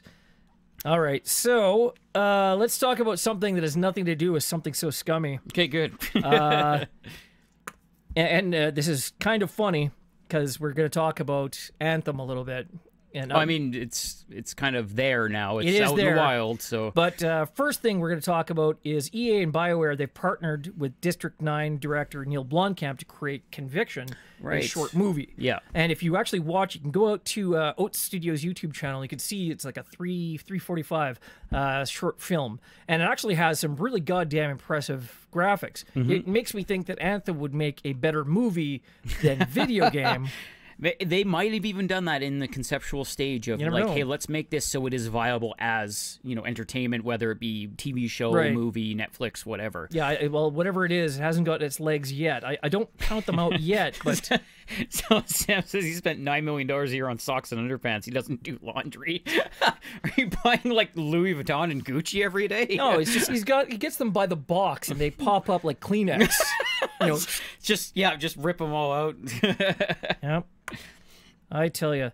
So anyway, uh, and, and the title of this piece is uh, Blomkamp's conviction fails uh, fails appeal attempt because Anthem is of course not doing great. Uh, actually, what makes me think is that I would really like to see them partner with uh, Blomkamp on actually doing a Mass Effect movie. oh, he would fucking kill at something Definitely, like, like, that. what he did, like with Anthem. I wasn't interested in Anthem really in concept, like it had Iron Man suits and flying around. So yeah, like I like eh. the combat and the design of the suits, Sure. but anything outside of that, I really didn't give a shit about the rest of it. Yeah. Uh, that said, I did see. I think I was watching uh, No Beard, watching him fly around in Anthem, and uh, he had something that looked like a fucking airsoft gun. Oh, of course, And it was yeah. like he's like the, the huge monster suit that he's trucking around, and Yeah. it's like, and he's like doesn't do any damage. He doesn't know what the hell's going on. Anyway, so yeah, people are responding to Anthem uh, right now, and I can't I think believe I think they're responding with their wallets, right? well, from that what I've too. heard. but get this though. Yeah. Uh, the game is scored right now. It's sitting at 61 on PC on Metacritic. Mm. On uh, Xbox and PS4, hasn't even been reviewed enough times to get a score. oh, that's brutal. Right? And it's been out since I believe Friday. Yeah. And then it had the pre-release before that, even where people like you know get it early Yeah, And for, then, for you know, like for before for, you find out how bad. for a game that was basically touted as like hype train of the year, Right. To not even acquire a rating yet on there over like a huge like weekend of play and stuff like that. That's that's insane. I can't believe it hasn't gotten anything yet. You know what else is kind of funny? Their day one patch broke HDR for Xbox and PlayStation Mm-hmm. Ooh, users. that sucks. so Gotta love like, those day one patches that that fucking break your game so you can't even enjoy it. So I mean, you think back to Destiny, right? I, I Destiny got a little bit of a pass because it was the first mainstream games as service game that was all it was. Like you had Grand Theft Auto Online, which is like you can always go back to the single player. Yeah, yeah. But this is it's all it is. That's the the whole. you can't log in, you can't play the game basically. And then people over time kind of soured on that, and Destiny 2 had a little bit better reaction, but still sold a lot less. And now we're going to Anthem, and people are like, ah, wait a minute. this place seems pretty empty to me. yeah. So I don't know. It, it's not scoring well. I'm, I'm assuming it's going to get turned around because it's BioWare, but we'll see. I mean, ju- just like we've seen with Destiny, it's it's probably one of those ones, especially because it's EA's first take at this one too. Right. Um, it's going to be one of those games that they're, you know, they've kind of put it out there. They're going to get all that feedback, and they're going to figure out stuff kind of along the way of like how to correct it, what to update, what to, you know, do those little tweaks and changes to like some of the UI, how some of the stuff handles and everything, and that you'll see that rating go up over time. Uh, but as it sits right now, obviously the first the first swing is is not doing well. You know what probably would have improved their chances if they delayed Apex for a month. yeah, and that we were kind of talking about that before. Is that like they they put out this game that's just fucking like killing in in that realm right, Right. now, and everyone else is looking at Anthem now. They're like, wait a minute, I just want to play this, and it's free. So why They're you? eating their own lunch. Exactly. Yeah, Yeah, so I, I mean, don't think that that metaphor works in that circumstance because, like, I'm eating my mm. own lunch. Well, that's what I'm supposed to do. But yeah, it's like I know what you mean. Yeah, they put out a game that they're not Yeah. going to make nearly as much money on, and people are enjoying it more than they're enjoying the game that Right. they've spent fucking six years building or whatever. Right.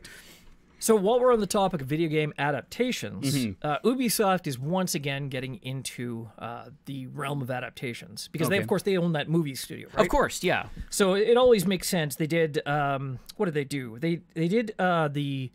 I think the first one was the original Assassin's Creed 2 short films they did before the release of the game. Yeah.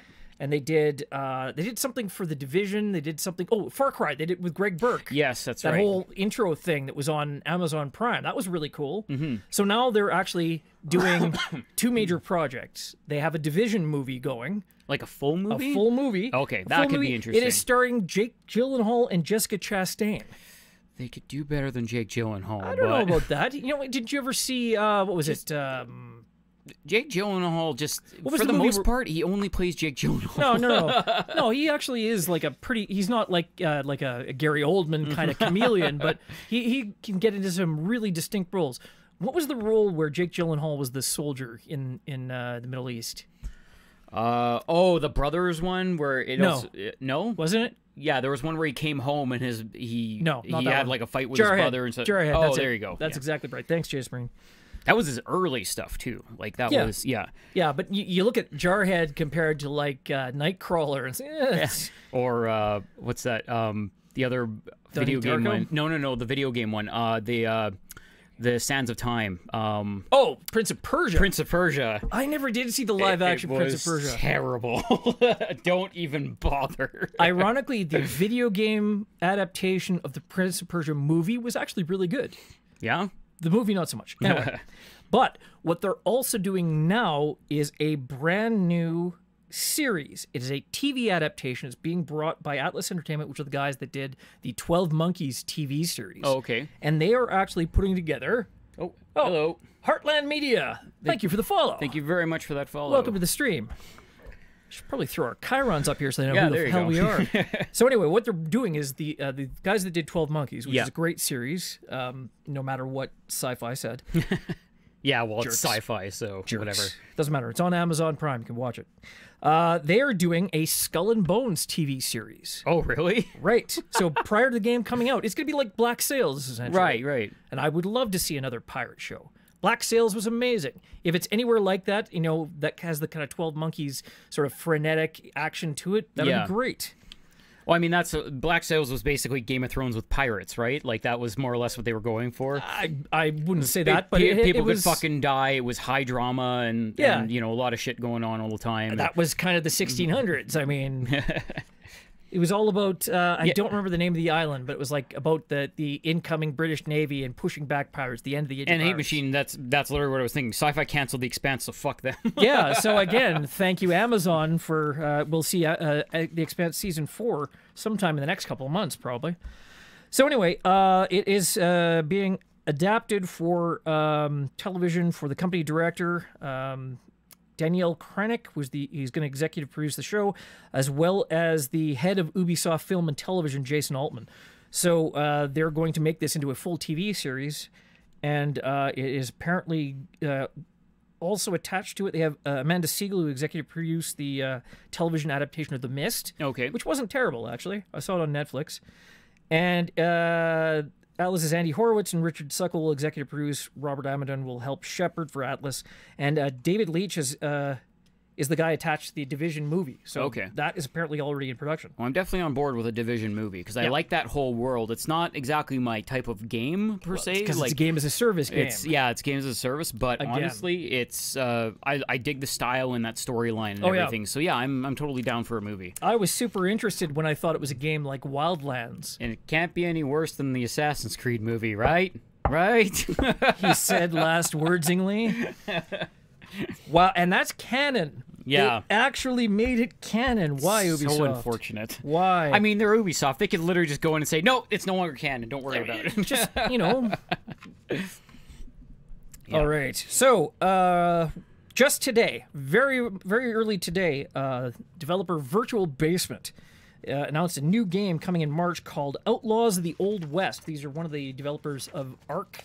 That series, Okay. uh, and it is very One much. of the developers was it like a group of developers that made that game, I I don't know like uh, or is it like someone from that team went on and made their own like virtual basement? I have a feeling the original developers were like, uh, as I recall, it was being done by like two guys, Okay. and like as their team grew and whatnot, had other people involved in it. I don't know specifically what the arrangement is, but they Okay. were one of the developers. Uh, maybe they did one of the ports. I don't know. You can look it up. It's online. anyway, but it is a classic Western game, but it is a survival game. So it's like the Old West, except it's like Red Dead Redemption, except no towns. Right. You go out, you go out in your covered It's, wagon. it's literally the Wild West. There's Yeah. like nothing there. You're just You get- surviving off the land. you, you get dysentery, you know, and that's it. And you build your shit, you uh, craft stuff, and it is a player-based economy. So much like Ark, it is designed for PvP technically, but uh, if it's anything like Ark was, You'll run a private server and not Right. worry about the assholes that want to take all your shit. and just build a bunch of stuff. yeah. So all I have to worry about now is fucking cougars. Which is funny. They know what they're doing because the trailer literally has a cougar in it. Because they know. Yep, they fucking know. Horrifying. I still have. And Damon Blade, it's not an Ark mod. This is literally a whole different game. oh, Like I think he's being facetious. okay, well I don't know. I, they like- don't have a facetious emote for No, it. So. I, I can hear it. I, I have my sixth sense. But uh, no, it's like that other one they have. I think it's called. Is it called Atlas or something? It's that other. oh yeah, yeah. It's like a pirate uh, one or whatever, right? I don't know. It, it's basically the same kind of arkish yeah. thing. It's Ark with pirates, I think. Yes, So whereas this they're, is- they're going out into the different genres. Yeah. So now, okay. So the one way you're going to get me to play Ark Yes. is you're going to have the spacefaring, like Oh, sci-fi spaceships and laser guns and stuff Yeah. like that. That's when I'm going to play the Ark. So like know, game. space engineers, but with more of a a blasty mm, kind of way. Yeah, yeah. Like Space Engineers was very much, hey, Yeah. build this cool stuff, but then there's not a lot else to do in Right. the game. So you really are looking at kind of an X Beyond the Frontier sort of game, except with more freeform building. Yeah, like I, I want to be able to build my own my own ship and my Sure. own station and stuff like that, and build not? some weapons and stuff. But yeah, give me, I don't know, maybe a little bit of lore behind it. That would be awesome. Yeah. Uh, RFL Atlas had a secret menu option that opened the Ark menu. it was one option below quit. yeah, they didn't really uh, do a really good job of skinning that uh, that Yeah. engine. So yeah, interesting. But this uh, Red Dead Ark Redemption, as I'm calling it, will be uh, apparently it's coming out early access on Steam March the 12th, and it is actually planned for full release on PS4, Xbox One, and PC. I mean, sometime that, in the future. That's the way they're going. I mean, Ark Yep. hit it big on, on PS4 and Xbox and stuff like that. So why not, you know, bring mean, bring the Wild West yeah. there too? I with how game- with how popular Red Dead was, oh sure. It has. They know that the fans are there now. There's people that will buy into a Western survival. Oh, I can't wait to uh, just watch discount Twitch. Yeah. because it's like I want to play Ark, but I don't like Western.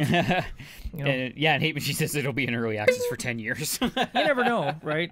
These days, like if they want to get it out for the existing platforms, yeah. uh, they're gonna need to pull the pin soon. I mean, guaranteed they they've learned a lot from Ark because that was in early access for a long fucking Yeah. time, but they really brought it together at the end. So Oh, and yeah, they- I, they- now that they know what they're doing and they have a team under them now, so yeah, they'll it won't be ten years for this one. No, no. But yeah, they, they supported Ark. They added a bunch of shit, like a shitload of extra oh content yeah, for there's free tons extra. Plus, there's mod support, so ton Yeah. of that. So anyway, all right. We mentioned Starbreeze before, Mm-hmm. and uh, of course, we know that they're pretty on the brink themselves, Yeah. financially. They haven't been doing great. They're not giving their CEO thirty-eight million dollars either. I don't think they're worth thirty-eight million dollars right now. No. So uh, because they're in uh, having issues, they actually sold back the publishing rights for System Shock Three. Oh, okay. So to the company that is developing it, they they uh, they acquired the rights. They are now selling them back, so that company can go publish it elsewhere if they want, or self-publish or whatever. But they're returning the rights to the published, that's all that matters. Oh yeah, no. I mean, Warren Spector was attached to it in an advisory role. They're like mostly done, from what I heard. Not completely done, but anyway, um, because they've been having such financial trouble, they sold their financial rights or their their publishing rights rather to System Shock Three. Um, another thing, Overkill's Walking Dead game Yep. that's being like shellacked on PC. It was delayed last month for PS4 and for Xbox One, and the rumor is now that it is being canned. Ooh. Yeah, uh, and it's not so much a rumor. Apparently, uh, PlayStation users who had pre-booked the game, Yeah, they're getting letters from Sony that says, you know, the publisher has canceled this game. Right. Here is your pre-book back. Oh, okay. So uh, it and there's no official announcement yet, but that's as close to an official announcement as you're gonna get probably. I mean, yeah, if they're like, because that's money in the bank. Yeah. So if they're going ahead and just refunding all that, it's not happening. yeah, they- they're not gonna they're not gonna spook their investors though Yeah. with an official announcement anytime soon until they can figure out a plan. But just like before, they're still talking about concentrating on their most lucrative brand, which is of course Payday. Of course. And if I don't get a fucking Payday three soon, like What? If, okay, so what if Starbreeze went under, but they sold their license and then someone else picked up Payday? Is Well, there is there like a yeah, like- is there a dev that you would want to handle Payday? it really doesn't matter because Overkill is the developer and Starbreeze basically just bought them. oh, okay. So they, if they wanted to sell uh, Overkill, they could do that and just, you know, go someplace else. But yeah, it doesn't really matter as long Yeah. as it's not something like EA where they're gonna, you know, monetize the shit out of it. well, yeah, you'd always have to worry about that. yeah. But anyway, uh, apparently their Walking Dead game wasn't great, so who the hell knows? If, I mean, Overkill could make a shitty game just as easily. Yeah, that's true. I would just like a situation where they turn out like the IO Interactive guys, where you know they take Hitman, they go and make Hitman. Right. Just go and do That's Payday. what they do. They specialize in that Right? one game. Yeah, if Starbreeze could sell them off, I'd relax a little bit. but here's the other thing that a lot of people have forgotten about: Starbreeze still owns the publishing rights to Double Fine's Psychonauts 2, Right. which I haven't heard hide nor hair of Mm-hmm. in years. You better believe with all the hype and the fandom and all the work that's gone into that, Yeah, it's not going to go under. It's someone someone is going to get that and they're going to carry on with Yeah. it somewhere. like well, look what happened with Tim Schafer, right? With uh, with Brutal Legend, right? Because yeah. that used to be an Activision game, and they took it over to EA when they they uh, we're not going to publish it anymore. Yep. And then Activision tried to fucking sue EA. so I was like, you know, should have Yeah, put a ring on it. Exactly. what Tim Schafer said. He said it on Twitter, you know. So I don't know. And that was such a great game. It was. It really was. I was actually watching a YouTube video the other day, and it, it reminded me that Tim Tim Schafer officially said he said after he's done Psychonauts 2, Brutal Legend 2 is the next project he's working I- on. So I really hope that's true. no, because it, it was it was people. a it was a passion project for him. He didn't make it because it was what fans wanted. It, Right. He was making it because it's what he wanted to do. So.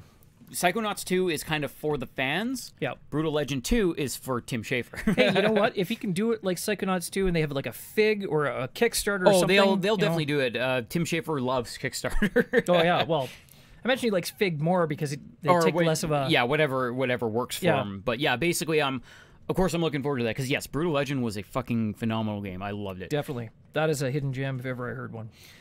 All right, so last weekend, just before Microsoft's presentation at Mobile World Congress, a group of employees got together and they put together a group letter to Microsoft executives uh, saying that they are protesting their participation in the augmented reality contract they have with the U.S. Army. okay So this is the 480 million dollar contract that Microsoft has to provide the U.S. Army with HoloLenses and de- uh, develop this uh, was it was it visual augmentation system or integrated visual augmentation system IVAS. So that was in November of last year. They won that contract. So they're supposed to uh, ship them 100,000 of these HoloLenses. I think they're the one and only people that actually have them out there. yeah probably So uh, here's the get get this. This is the this is the list of things it's supposed to do. So Microsoft's mixed reality glasses uh, are supposed to provide soldiers with thermal imaging, night vision, vitals monitoring, and HUD. I don't know if like Peter Molyneux wrote that list of things or or what, but uh, I have difficulty believing that it's going to do like thermal imaging and shit. But no no because if it was peter Molyneux, he would also say it would project a, a virtual friend that's a 12 year old boy that you can talk to while you're lonely on the battlefield or something no, if you if you start seeing twelve year old boys in the battlefield, it's probably just your you know you know shell Shell shock. shocked yeah you know, ah, save me, and you know, teddy bear explodes, just starts melting in front of you. Right, just a little bit of post traumatic stress for your trouble. So uh, the contract's stated objective, and this I want you to, to listen how how bizarre this sounds, to rapidly develop, test, and manufacture a single platform that soldiers can use to fight, rehearse, and train that provides increased lethality, mobility, and situational awareness necessary to, uh, to achieve overmatch against our current and future adversaries. It's a whole lot of bullshit force multiplier garbage. So, uh, Microsoft workers write, uh, we do not sign up to develop weapons. We demand a say in how our work is used. Are you fucking kidding me? I- You're selling your shit to the American military. Yep. As if you're gonna have any say in how it's used. This, this is what the, the Microsoft employees are saying to Microsoft. Microsoft turned around and said Oh, back to them. okay. No, but here's the thing. Like, uh, they had about the same reaction as you did Yeah. to their own employees. Uh, we gave this issue careful consideration Here's a check. Oh, okay, we considered it. Yeah. Carry on. and outlined our, our perspective in an October 2018 blog. We always appreciate feedback from employees and provide many avenues for their voices to be heard. In fact, we heard from many employees throughout the fall. And as we said then, we're committed to providing our technology to the U.S. Department of Defense, which includes the U.S. Army, under this contract. As we've also said, we'll remain engaged as an active corporate citizen in addressing the important ethic, ethical and public policy issues related to the AI and the military, which is a great big fuck you, we've got the money. yep. That was that's literally it. It's like, hey, Yep. we hear what you're saying. Shut up. Give that the consideration it deserves. yeah. And uh, I'm just gonna go cash this check now for like Yeah. 480 million dollars. So, timing being a little bit questionable, uh, Microsoft announced the HoloLens 2 on the weekend, uh, which is supposed to be uh, marketed towards both uh, platform developers and to home users. And Microsoft doesn't know how the fuck to market this thing because they were talking about all the applications they could use in a business, and then they brought out the guy from Fortnite, and they're talking about like in a game. I'm like, Yeah. So it doubles the frame of vision uh, without decreasing the resolution of the game, or like the games. Uh, eye track is included in an iris scanning, so now they can log you in just by scanning your iris. Oh, great. Yeah. That doesn't one concern one- me at one all. step closer, man. Sure, we're, we're like very soon. It's just going to be iris tracking as you get on the bus, like Minority Report.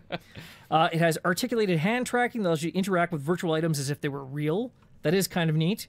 Uh, improved microphones, imp- improved comfort based on, and this is the one.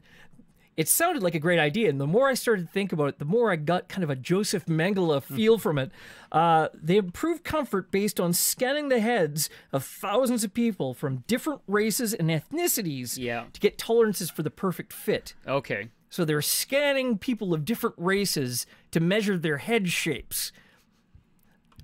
Isn't that what the Nazis did? Uh, you know what? There, there's nothing, there's nothing bad behind that though. They're not Oh, no. sizing people up to make sure that they can like kill them or something like that. no, like, I'm sure that that you know they're going for the best shape and- generic fit, and then you know, Sure. that's fine. Anything that makes a fucking headset more comfortable. Unless they're unless they're like you know you accept payment as soon as you open your eye and it scans your eye and then it you know we own you now like unless it does that shit Yeah. I have no problem with that because if it's one thing you need when you have a VR headset augmented reality whatever if it's not comfortable fuck that Yeah. thing No, it's true. if you can't wear it for more than like 20 minutes without getting like a headache or a sore sore skull or whatever like it's Yeah. not worth it Well, the, the two things that say you're not going to have to worry about it. First of all, it's a mix of plastic and uh, carbon fiber, so it is very light. oh okay So the other thing Sounds is expensive. the other thing is it's thirty five hundred dollars. yeah that sounds about right But they are nice enough to offer you monthly payments of one hundred twenty five dollars. Oh, of course. Yeah. Yeah. Because they want you to buy in. Because Right. apparently the American military isn't putting enough money into it already. They want customers to put into it too. You know, I'll, I'll, I'll wait until the American uh, military has like put in enough money that they have this thing down to a fucking science and they can sell it to me for three hundred dollars. Yeah, but even still, like how how many uh, applications did you use your first Hololens for? Uh, well, it didn't exist, so there's that. I tell you. All right, Microsoft. All right. Uh speaking of which, let's talk about other things. Other That was a terrible was- segue. That was a, Worst segue ever. yes. Tennis, really? I used to play cricket. Okay, so uh, studio director of Media Molecule, uh, Siobhan Reddy, has announced that the Dreams Creator Early Access game will be made available this spring in limited numbers. So uh, we're getting Dreams this year Yeah. finally.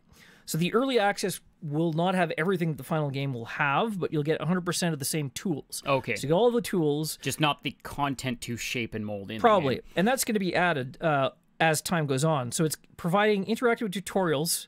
It'll have all the, uh, and it- they'll be for various skill sets and whatnot. They'll have um, some of the Media Molecule created games, so the arcade games ready made, so you can either play them or remix them or see how they go. Right. Uh, if you're in the beta, you will have access to any of the games that you published already, so you can go and, and They're not wiping those. your account Right. basically. Exactly. Uh, and they're going to be adding more features, tutorials, arcade levels, and assets during the access period as they build towards the full slate at launch. So it's going to be re- uh, available digitally through the PlayStation Store, and it's going to be uh, $39.99 Canadian.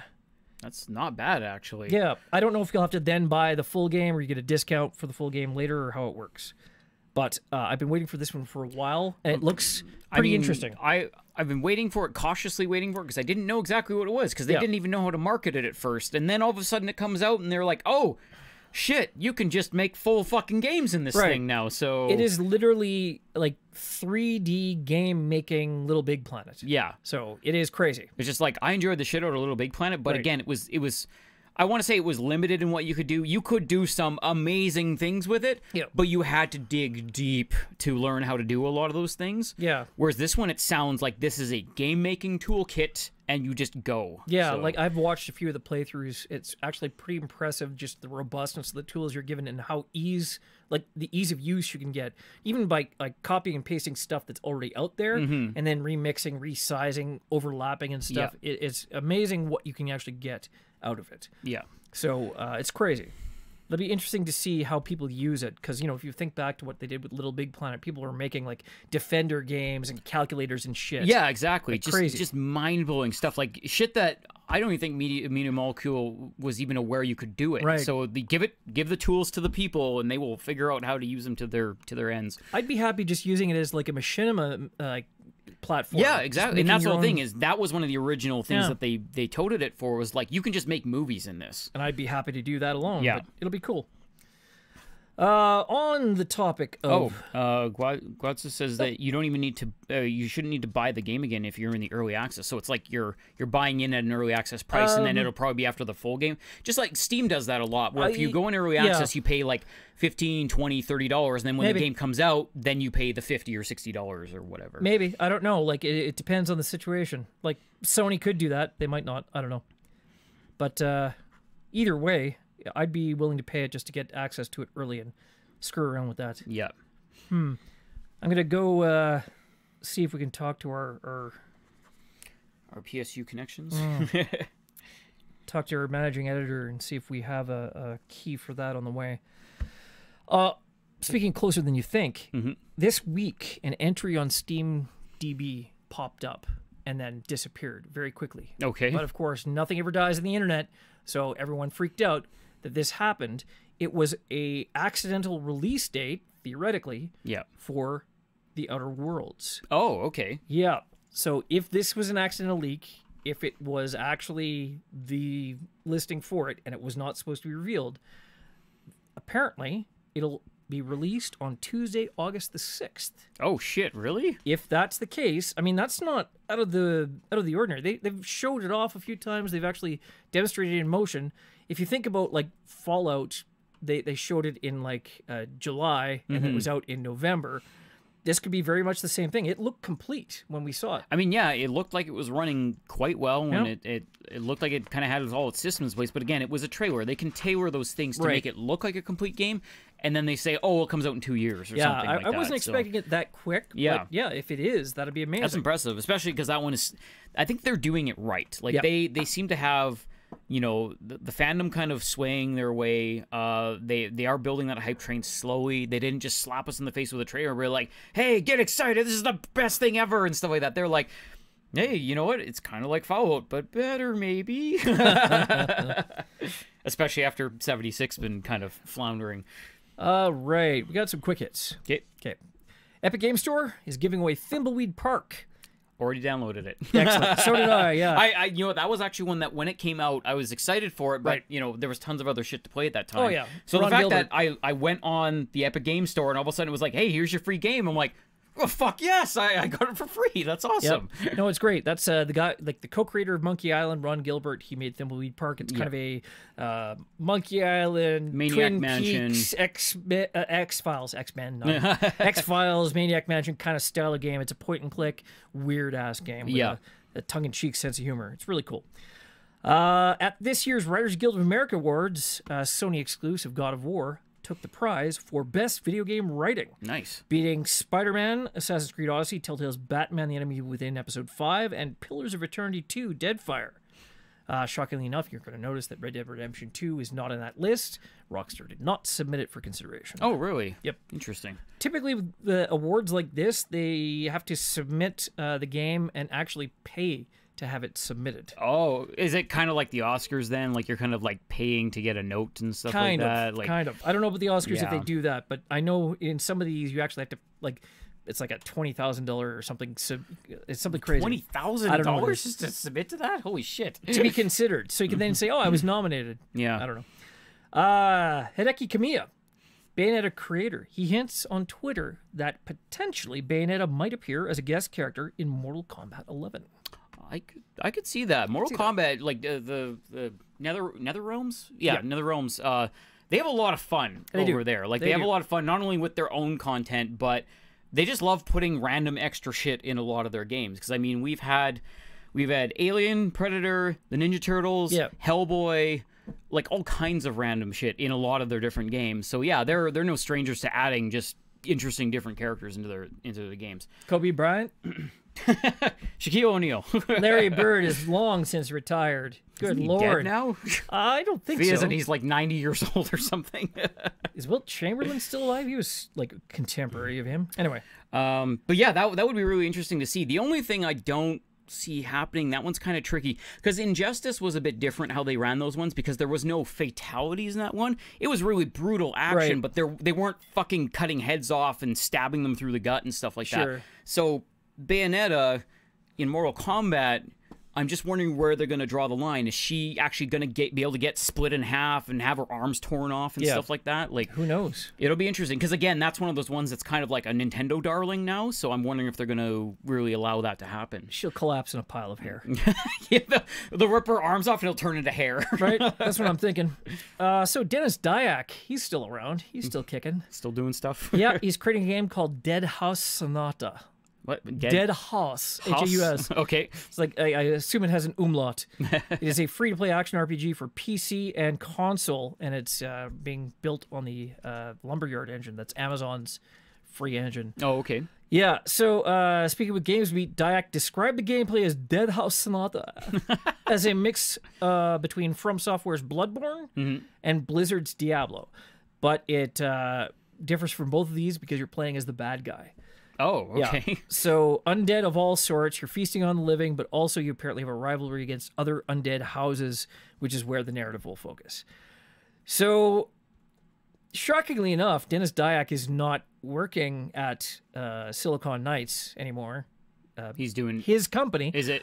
it is now leading a different company. So is he still part of Silicon Knights? I have a feeling that Silicon Knights just kind of shoved him out the door. No, no, like they, they already laid off. Like there was only him and like two other people. I think they just closed the doors down. Oh, okay. You remember they were still in that that lawsuit with uh, Epic about the Unreal Engine Right. Yeah. Yeah. for the longest time, and, and I think that, that it turned against them. Mm-hmm. So I Legal think, fees just built up, and they were like, ah, fuck this. I think they just shuttered uh, Silicon Knights and went and started a new studio. Yeah. So it's Apocalypse Studios. It's a new development team. It's based in Niagara.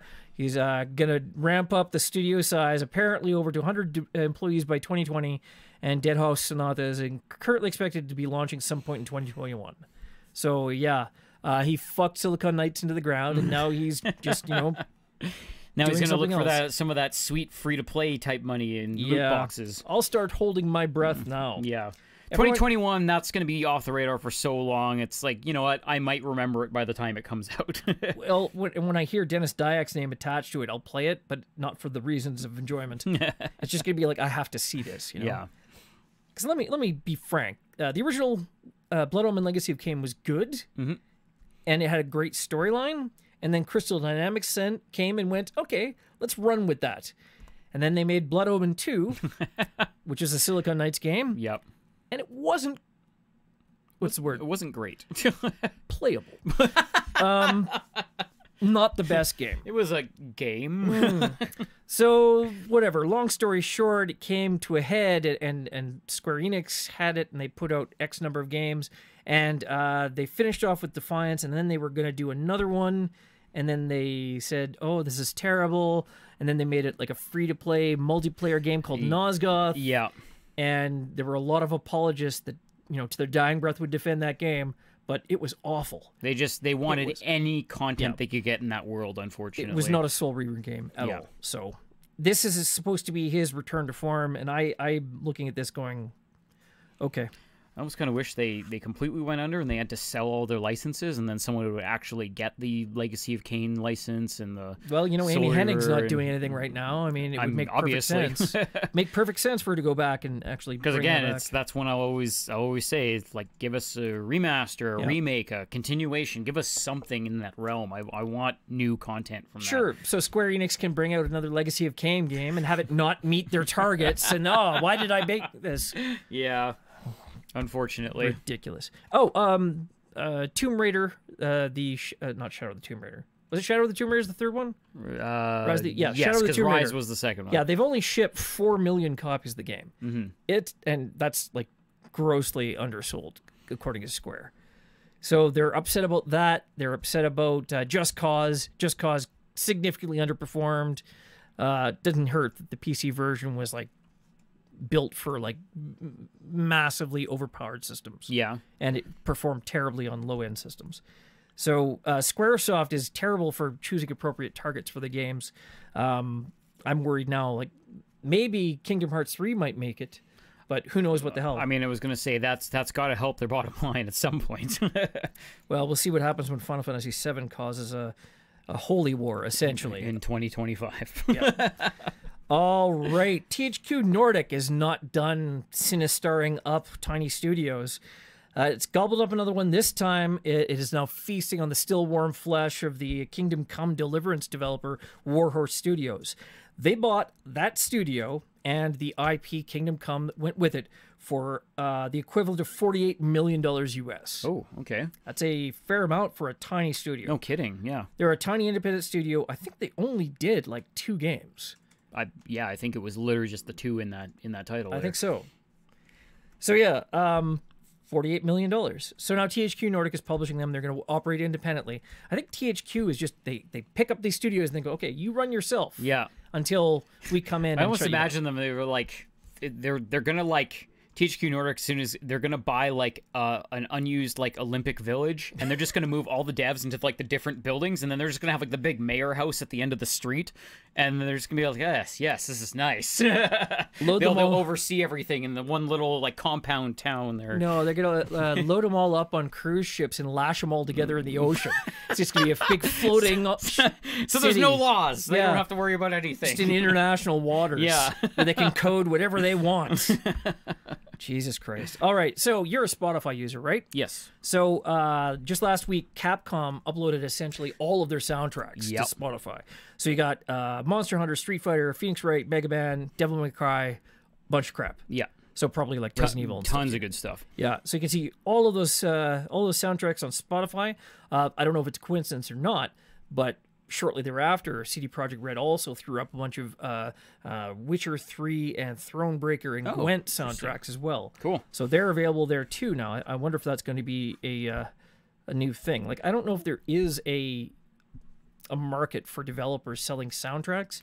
There, there is, but it tends to be the more unique ones. Yeah. It's either like, oh, Like we're Final selling Fantasy, this, like selling this on vinyl, or it's like an indie Fuck game that has like a really kind of unique sound to it, or That's something. Travis speak. well, hey, vinyl. Hey, man, that's. God damn it, I wouldn't- Travis. I wouldn't speak like that because, goddamn, there's a lot of people there that love their vinyl. Yeah, well, there, there's a straight up market for video game vinyl. Sure, hipsters. and last but not least, uh, Bethesda. They have announced their last ditch effort to salvage Fallout 76. I won't say last ditch, but it's their current effort to salvage Fallout 76. They're, they're next in line. Yeah. so they have a 2019 roadmap that actually has like uh, a spring, summer, and fall edition, and it's going to have like a bunch of different add-ons for uh, new quests, modes, items. There's going to be raids, features, events. Legendary uh, legendary players can do like a prestige. They can like level back down and improve their character. They get get additional stat bonuses Oh, and okay. crap. So I'm assuming their prestige system is going to let you like uh, new game plus a bunch of times and make you unstoppable. Mm-hmm. Uh, there's going to be uh, apparently even a new main quest next fall. So I don't know if there's going to be like a, a brand new storyline, maybe with some NPCs. I never thought that NPCs would be like a luxury item, but yeah. but here we are. yeah, so you can check that out there on their uh, their blog. Uh, I like the the Fallout at this point. The uh, the feedback to Fallout 76 has been critical. Um, probably not as critical as A- uh, as Anthem, but it's been pretty critical. And uh, they've had all kinds of issues with uh, you know uh, economy issues and people falling through the map and the guy got banned for 900 hours Oh of yeah, because he just had was too much ammo. Uh, no, Like- he was duplicating. Oh, was he? items. Okay, I thought it was duplicating just like he actually gained all that, and then they just banned him for it. Like, No, I was I was sympathizing with him until I heard that. i was like, "Fuck that guy." yeah, as long as it was official that he was basically cheating, then yeah, fuck that guy. Yep. So uh, it's good though. Apparently they're listening Discount to joins the. the chat at the buzzer. Oh, discount. Yeah. Well, we already talked about Ark for this episode, so unfortunately, that's it. we we know you're gonna play it anyways. Discount. It's He all won't. right. He won't. All right. Anything Ark related, he'll fucking play it. All right. It's time for the big ticket. All right. uh, this week we're doing something a little bit unusual. We're moving the the weekly PlayStation 5 rumor roundup. It is the big ticket this week because we have a couple of patents filed and some other things all put together that make for an interesting discussion topic for PlayStation 5. As long as there's enough that's going in the right direction of like, hey, this is a little more true than like, Yes. oh, I heard this one guy on a forum No, no. somewhere said this. These are based on actual patents that have been filed in Japan. So there are two patents, and there was one about a month ago. And uh, this is one that we actually had talked about, I think, on the last episode two weeks ago. And it was uh, the CPU ID impersonating patent. Yes. which allowed um, uh, certain devices to be impersonated so that like for legacy systems so i guess if you plug in your super scope 6 it'll work i don't know i mean that's a bad example obviously but your your i don't know what your, your shitty namco twisty Oh, ps1 God. joystick something like that yeah, no right? thanks. do you remember the original ps1 that actually had like a two stick flight stick sure do. Yeah. They had a lot of weird, interesting stuff because again, video game companies were really testing a lot of ideas out at that point. They sure were. Like irritating stick. Do you remember irritating yes, stick? I watched a video about it the other day because I, I, I went by it and I was like, why does that ring a bell? and then it was a like 25 minute video about the guy playing it and then talking about the history and like where it came from and why it exists. And I was like, wow, okay, that's a thing. irritating stick. yep. Okay, so uh, just recently, uh, it was published last week, the 21st in, in Japan. Uh, the name of the patent is Simulation of Legacy Bus Operation for Backwards Compatibility. So this is very interesting. So what it is, it allows for uh, the CPU to emulate the essentially the function calls of another CPU. So it uh, allows for enhanced remasters or literally emulation on the fly. Yeah. So um, this is essentially what you have, like when you have emulators, you have a BIOS, right? And so you actually need that BIOS. Instead, the uh, this new CPU, the patent will allow it theoretically to emulate past CPUs. For example, the PS3 or any other PlayStation. Yeah. So this plus the CPU ID impersonation, it's leading a lot of people to basically follow up on and, and what developers have been saying who have dev kits now that PlayStation 5 will absolutely be backwards compatible. This says potentially not just with PS4, potentially with anything. See, and that would be an absolute killer for them. Crazy. If you can buy one system and you can play everything previous, Yeah. that's it. Like done. Instant buy. Because I have so much content to fucking play and it just sucks to have to go back and plug in multiple different consoles Right. to play the various games that I want to play. Yeah, so they're saying that if this is like for the PS5, that seems obviously where this is headed. Yeah. Uh, the new system will allow the PS5 to be able to imitate the behavior of the previous consoles so the information that arrives at the different processors is returned in response to the calls of the games. So the processor is able to detect the needs of each application and behave as if it was the original CPU of each machine, cheating the software essentially. Yeah. It's the same thing as a as a PC emulating a, a, a Dreamcast or a GameCube or except whatever. instead of actually needing the BIOS to uh, emulate, it actually replicates the use of that BIOS internally. Yeah. So that's which is all Sony stuff, so Right. it would make sense for them to do it that way. So two things that this opens up Sony for, which are interesting. So aside from just being able to, you know, gain access to your whole back catalog, potentially PSU, PS1 games, PS2 games, PS3 games, you also have two other things that this becomes a vehicle for. First, there was talk that they already have a, a patent for a touch screen in place of the touchpad. Okay. So you have a visual screen. You could have it emulate Vita games Okay. right? So you have your screen, you have your little screen for like any touch aspect. So what you're talking about is like basically take a PS4 controller, split it in half, and stick a screen in the middle of Essentially, it. Like, I, I'm assu- like the the way they describe it, the screen was going to be larger. Mm-hmm. So I don't know the dimensions of the controller itself, but I picture like the touch screen just a bit a bit like a little bit bigger. yeah. It's probably your your PlayStation button will be like on your touch screen, now, Right, yeah. something like that. Anyway, uh, but yeah, you have your your Vita game you could play on your big screen, but any of the touch control stuff for the Vita Is all right, right there, there, yeah. right, which would in in turn allow any Vita games that are developed still could be on the fucking Vita for those people who still have one. The other thing that uh, is interesting, this would allow potentially uh, PS Now to allow you to download even PS3 games and stuff like that. So you could have PSP games, PS Vita games, PS3 games, all on PS Now. Literally- download everything. Literally their entire catalog. Right. So basically, your PS Now would be a much more value, like a, a bigger value proposition. Yeah. And anything you have access to already in your back catalog on your play, uh, PSN account, Yeah. potentially you could download and play on your PS5.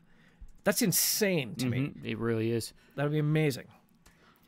Can you picture now though? It would be like they could uh, build a uh, like a little um, like a a, a a a packaging for any of the old games. So when you download that or you have that in your system, it downloads like the two or three meg packaging, and this is where all the calls are for trophies and stuff. Boom, your game now gives you trophies Yeah, exactly. Just like again, an all-in-one solution. because that's one of their patents too. That's like that's like a guaranteed buy for a lot of people. Just again, that like because everything is so digital, so cloud-based, all this uh, online-based now, we want that one-point solution. Right. And if they can pull that off that easily, that's it. That's the way to go. That's going to be your all-in-one solution right there. Yeah. So at the very, very least, we're going to see PS4 compatibility because he has still has the x86 architecture. That's almost a guarantee. But Because this it's, it's previous generation, it's the cross generation. That would be by far the smartest thing Yeah. you could do. Because as you go, like with each generation back you go, it's going to be diminishing returns. Because the PS3 could already play PS1 games anyways. So And that, PS2 games if you got the early one. Oh, that's right. If you had the fat one, it would do my PS2 big games. fat PS3. So yeah, you have a you have a system in the middle that could already play the previous games. Now you have this one that could play those. If it can emulate any of the other ones, it's yeah, you're you're basically good to go. How expensive are these controllers going to be in your scenario? 100 bucks. Well, I mean, right now they're like 80 bucks. So yeah, honestly, they're already seventy or eighty dollars. So on what I could see happening is kind of what Nintendo did with the Wii U, except not so locked Oh, down. God. So the Wii U had its its gamepad, which is kind of the same idea. So you had your controller fixed around a screen, touch screen that did all this stuff, and then alternately all of the other players with uh, that would play the game, they would use an old Wiimote. Uh, or I think they had a pro controller that you could get for Yeah. it too. Dave speaks in freedom dollars only, so we'll have to convert that into US Yeah, but- America. what what I could definitely see them doing, especially if all this stuff is going to be backwards compatible, Yep. and it's going to read all this other stuff and, and use previous systems and all that. That PS5 is probably going to be able to read a brand new PS5 controller with a screen on it. It's going to be able to read a brand new PS5 controller without a, a screen on it, Mm-hmm. and it's going to be able to do a DS4, a DS3. Um, it won't have a plug for PS2, but I mean it emulates all that stuff anyways. Yeah. So what it's probably going to be is they're going to offer two different controllers, but first player always has to have the touch screen one, and then they're going to have an alternate cheaper one Maybe. that doesn't have the screen built in. I am really hoping that uh, they don't split the market though, because that's the problem with like the the Nintendo Wii U. Uh, like, if they're making games where the uh, screen is going to be used, it needs to be uh, all of the market. And it, uh, unfortunately, it's the the Kinect argument all over again, right? It's, it's all of the devs. It's Yeah. up to the devs, and I al- that's why I almost guarantee they are going to uh, maybe not. It's not going to be right at the start, but I guarantee Yeah. they are going to offer one without the touch screen on it. The thing is, though, the the touchpad being blank doesn't really give the devs a lot to work with. You can have like very very basic gestures. You can like track around a map. W- When you have uh, even a small touch sensitive screen that Yeah. they can program, then they can put buttons and visual uh, responses and you know actual and again, feedback. Yeah, really cool idea, but yeah. it's gonna be one of those things that's literally gonna, you know, it's like okay, I got my one pack and controller, Right. Got to wait a couple months to buy another controller because they cost you know two hundred dollars Canadian or something. I mean, like who that. knows? Like a tiny touchscreen, for like uh, in 2020, it might not be that expensive. And plus, they're going to be mass producing them too, so it's gonna come down in price. Who knows? It's not like you're not going to buy a, a controller for like $800 like it's an iPhone or something. No, no, just all I know right now is still if I want to go and buy a brand new PS4, like a, a DS4 controller, Canadian dollars, seventy nine ninety nine. So It's true. something with a built-in screen and more advanced tech, and it's the newest thing. It's gonna be more. It's still cheaper than a Joy-Con Uh, or a pair of Joy-Cons, anyway. yeah, I guess that's true. Yep. Yeah. All right, one other patent that uh, showed up recently. Uh, they had actually patented uh, some new PSVR controllers as well. Oh, okay. And the patent, there's a couple of patents associated with this, and it says the first one is what Sony calls a sense of force presentation, which is kind of like haptic feedback. Okay. Uh, or at least that's how it's described. Oh, it's probably like the the Joy-Con, like the really high-tech vibration motors that actually feel like different sensations and Uh, stuff no, like no, that. it's like actual force feedback. When you're like, if you if you're uh, like moving the thing, it'll actually fight you a little bit depending on the movement. and yeah, so it ha- it has like a, a a gyro that will Kind of. yeah, kind of Who knows? throw it in the other direction. The other patent is a uh, system by which the controller can detect whether it's in your left or right hand. Oh, that yeah, would be nice. and it apparently has some uh, some kind of ability to sense finger positioning and motion as well. So whatever the heck the system is, We're already seeing a lot of that with Yeah. the Oculus and the Vive, so it's just the natural progression of things. and it's gonna like naturally remap the buttons based on which hand it's in and whatnot. So I, I guess at the very it's, least, it's pretty easy to tell where your thumbs are, so Yeah. the controller should be able to pick that up. if your thumbs bend the other way, you got bigger issues. yeah, exactly. Right. So that'll be interesting to see. Uh, just the fact that you have like haptic feedback and controllers in VR, that could be a big thing too. Mhm, absolutely. Yeah. So that's a lot of uh, random PS5 rumors, considering it's still like a year out.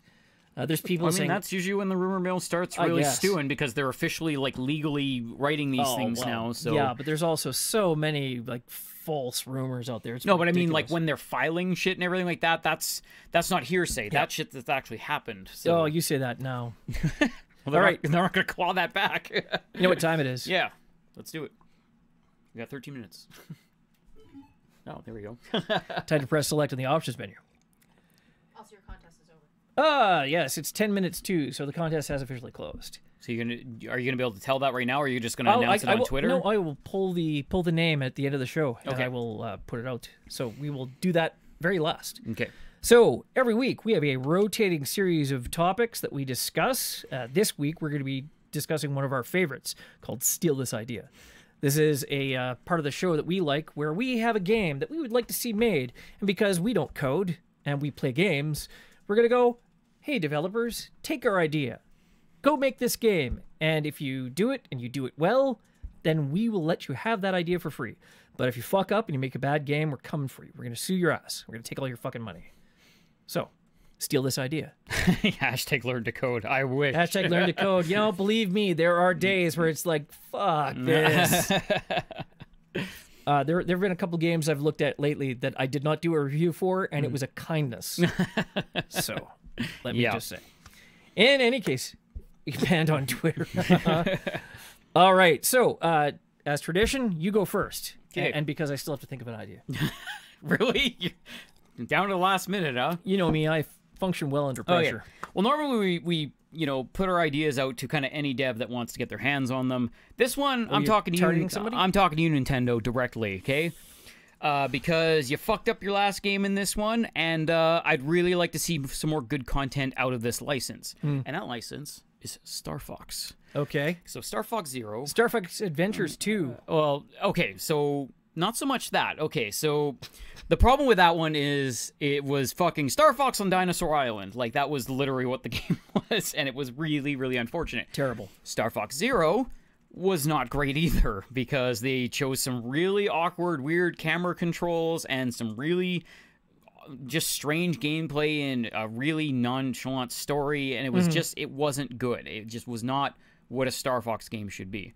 So, Nintendo, knowing that you like to do different things with what you're working with, uh, this idea just came straight out of Kingdom Hearts 3, actually, with the gummy ship stuff. Okay. So I enjoyed that part of the game so much, and it was so akin to what an old classic like Star Fox game felt like that I want Nintendo, because they don't- don't do the Adventure Planet, don't do any ground missions or anything like that. I want a game where your leader it, so it's in the future your leader is an old haggard star fox and he's like the big corporal like leader of the squad now. And you have a young like ragtag band of of guys behind you and Okay. you get to build your own like modern like uh like future tech version of the Arwings Okay. and upgrade them and cha- like change how they look and change them for missions and stuff a la kind of like armored core so if you're going to a heavy mission you want like more armor bigger guns stuff like that or you want like a lighter more dexterous ship and whatnot but do that but in a more not so much open world but like a hub and spoke where you can kind of head in any direction whereas before on the classic star fox games Yep. it was kind of you started at one point and then depending on what you did in each level it would send you like one of three routes or one of four routes or whatever. So in this one you start on you know corneria or something like just on a core planet mm-hmm. and you can just go outwards and you can realize pretty quick that oh i shouldn't go in this direction because that place is fucked right now or you get there just in time to, to save them and all of a sudden you get bonuses and boosts and money or you know get certain parts but if they get fucked up that stuff is locked off and then you may have to get it somewhere else or you may just not get it for that playthrough Okay. so I don't want it to be a big epic like 40 hour game. I want it to be one that you can still play through, but you can play through it many, many times in many, many different ways. So just like you would play the original Star Fox, you had three paths and you could interconnect some of those planets from time to time to you still get the same ending, but you get kind of a different path every time. So this one, you could fly out in fucking like, you know, 10 or 12 different directions and then out from there it could kind of fork from there. And so you it would give you so much replayability into Yeah. how you built things, which team members you had, which direction you went in, Okay. and what order you did everything in. So this is like your Star Fox answer to like Logan, Logan? like Logan with Wolverine. What a Because Star Fox is old, he's grizzled. Oh, it's a oh, okay, team, new yes. team. It's like I'm too old for this yeah, shit. yeah. So basically, like that. So, so yeah, he's he- you know he's the grizzled war vet now. He's you know he knows what he's talking about. He's just a bit of an asshole now because he's you Andross know- killed my whole team, and now Yeah. I can't fly anymore. No, it's up to you. except for that Slippy asshole. No one ever liked him. Take the marbles out of your mouth, Slippy. yeah, and uh, so oh yeah, D- discount actually points out like Star Star Fox meets No Man's Sky. Not so much because because No Man's Sky is very much about like planet exploration and stuff like that. I want this one to feel very much like a classic Star Fox title. So I want everything to take place in a ship because In space. around the core part of well it can be on planets but you're flying along the Sure, sure, planet's surface and fighting bosses and stuff because I want that focus to be very much on the ship and the weapons and, and the squad that you choose to go with you on each mission. I want it to focus completely around that. So don't like no ground missions. I don't even don't even build a landmaster. Like you don't even have to build a fucking tank or a submarine or whatever. Sure. Just focus on building like a badass Arwing for the various missions that you go on. There were like Arwing missions where you were like skimming over the terrain and stuff, and like uh, you know buildings and crap would fly by and stuff. Yeah, no, that's that's what I mean. Okay. Like have some in space, have some on planets and stuff, but Landmaster was literally you were an Arwing tank. You were on the ground rolling around and everything, and they had submissions and all that weird stuff. See, I thought Tron was saying one thing which was cool. He said throw some Rogue Galaxy in there for good reason, which is like the level five. Oh, game. yeah. like wow, that would be kind of cool. But then he said uh, no, he meant the Rebel, Rebel- Galaxy, Rebel not Gal- Rogue. Yeah, like- which is also pretty cool. A, a little, a little bit like that, except Yeah. instead of you know a dreadnought, you have your squad with you and you you customize and whatnot. I'm actually looking forward to playing the sequel to Rebel And it- Galaxy this year too. and it needs to have shipbuilding. That is the key factor because the would- gummy ship is, again, like Kingdom Hearts three, like the gummy ship stuff. Sure. That stuff just kicked ass. I fucking love that part of the game because you can customize your ship and your weapon loadout from the ground up in any formation you want. It builds within like a limit, of course, but it was just one of the most fun parts, Yeah. and you can build it for various different missions and different boss fights and stuff. Old man Janus Marine is rocking on his uh, veranda and complaining that you're talking about gummy ships again. But that's the whole thing. It's Gummy Ships is the, kind of the blueprint for the much better Star Fox game that I want Nintendo to make. Every time I turn around, it's either Kingdom Hearts or Riverdale. He's got a point. Yeah. So that that's it. That's the game that I would love to see because uh, Nintendo, the last couple Star Fox outings they've had haven't been great. So I'd love Right. to see that game come back because Star Fox is definitely one of my favorite licenses that they have. I can see that. So yeah, there you go. Cool. All right. So what do you got? Did did I- you did you think of anything? I did, but I think like I've got a list of ones that I, I, I I've discussed in the past. I don't know if I ever talked about this one. There was an idea I had for a post-apocalyptic uh, kind of a, a, a salvage style game. Like it, it was, it's half uh, mecha and half survival game. oh, okay. It's, it's kind of similar to uh, the Gundam X presentation.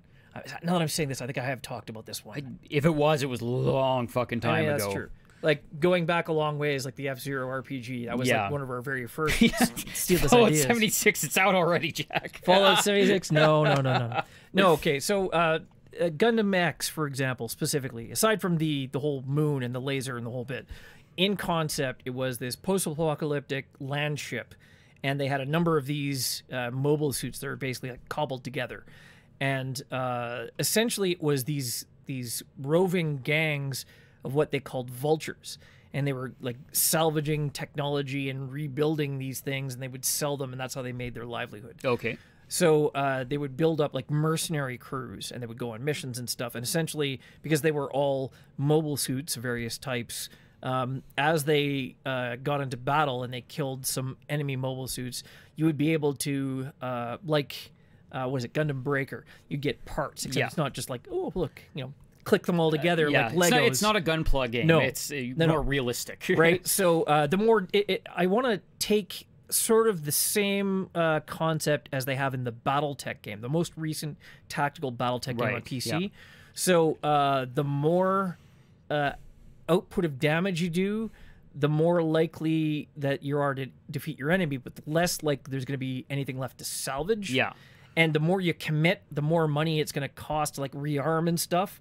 So it becomes all about the, the economy of war as well as the, the actual act of war. You want like when you get into a fight, you want to Right. knock them out. You don't want to kill them. yeah, and you can't overcommit, otherwise, then you can't uh, afford to like rearm or to if you take too much damage and repair. Right, Yeah. your main mechs are out of uh, battle, so it's, a all balancing about, act. Right, so it's all about uh, doing enough damage to them that you can still salvage them, but not taking as much damage. Otherwise, you're, you you won't have mechs left to fight in. Yeah. So something like that, bring it to this post-apocalyptic environment where if you like kill a guy, you can like salvage a leg and like attach them. And each leg or each limb will have different uh, statistics and whatnot, like Armored Core does. Mm-hmm. So you can mix and match them, and then you'll get these like weird Frankenstein. I was gonna say some really funky Right. looking machines. yeah, so you get like really like cobbled together crappy things, and uh, it's only when you get better equipment, like if you like specifically get lasers or something, you can like try to do like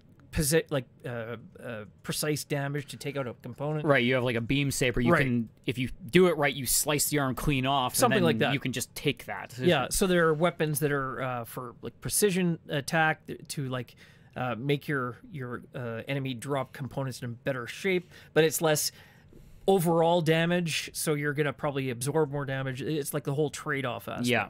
So something like that, and make it like not a tactical game, although that would be cool. In hindsight, that would be very cool. But uh, make it actually shit. Make it like a front mission game. Front mission, but in I don't know. I'm I'm a fan of third person myself, so I, would I mean, I like that, too. but- I like that too. But now I'm thinking about this, having played Wait. SteamWorld Heist. both of them. Yeah, I mean, you could do both. Do tactical, Yeah. and you can dive into any suit that's active Right. in battle, and then actually take it over. And actually, I was playing um, Space Hulk Tactics, which Hmm. was like the. It's not a sequel, but it's like uh, a different play on Space Hulk where you can swap between first and third point of Right, view. yeah. And you have action cards and stuff, so it's like it really changes the feel of it. Uh, something like that.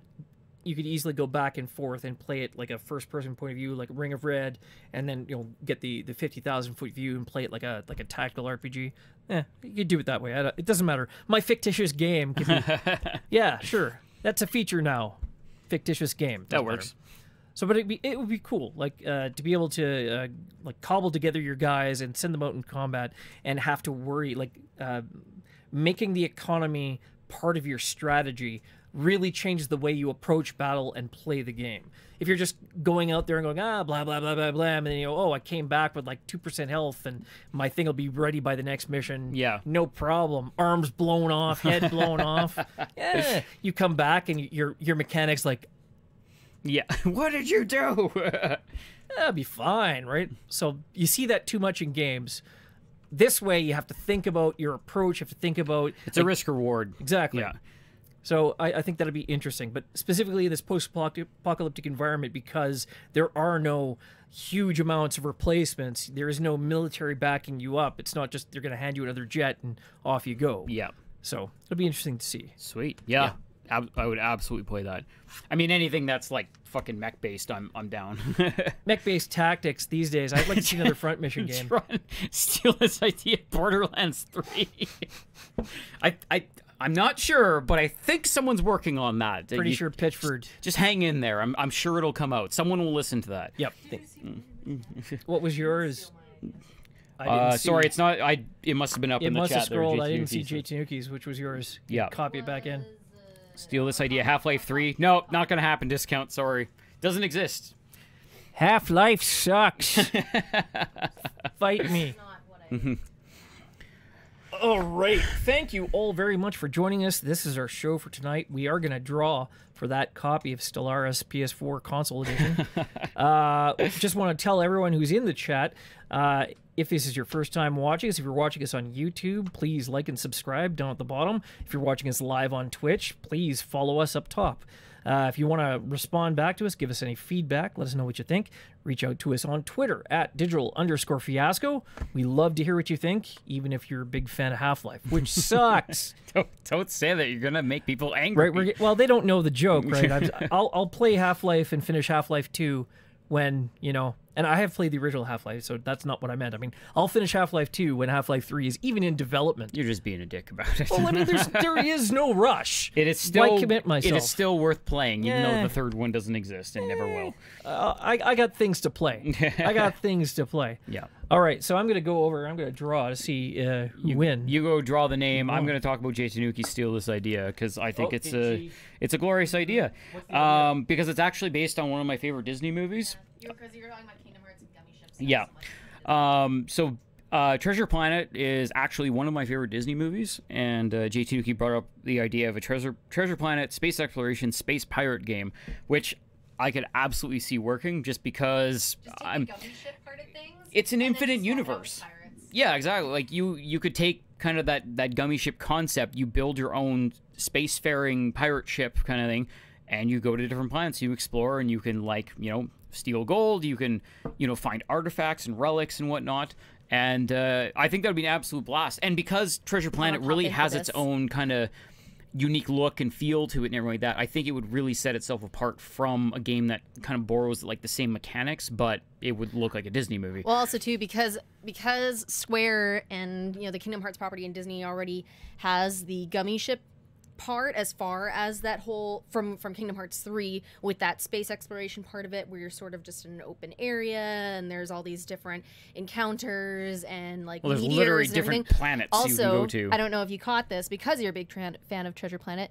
Easter egg of the treasure orbs. That's literally Oh, yes. the orb Yep. the orb that they're carrying around like throughout all of Treasure Planet looks like identical to the treasure orbs Just- that are in Kingdom Hearts 3. just about a million times bigger than Just like massive, massive. But you could take that Yeah. and like take the gummy ship aspect, even like the building of it, and like make your own little like pirate ship kind of thing. And have like your own little like Yeah. crew and and Rue too. It's really unfortunate that uh, that you're saying that. Have you played Kingdom Hearts three? Because the the gummy ships, there's so much more to do compared so, to the previous it is games. so much better because I I wasn't a fan of the gummy ship aspect in Kingdom Hearts 1 and 2, I would always look for ways to kind of like nerf the system just so I could avoid it. So like Kingdom Hearts 1, I would make like the tiniest like single block gummy ship and like hide away in, in the corner and just coast through everything. And then the second game, I, we did like the big like donut, donut, ship, so nothing that could hit everything shot through the middle of it and you could just shoot around and never get hit by anything. I would just avoid them at all costs. But the version that they've done in Kingdom Hearts 3, you can if you don't like the battle part, you can avoid it like entirely except for like key bosses that you need to encounter and even then they make them at least like relatively simple enough where you can kind of just like Sorry. shoot a shoot a bullet storm and go. You're getting booted out.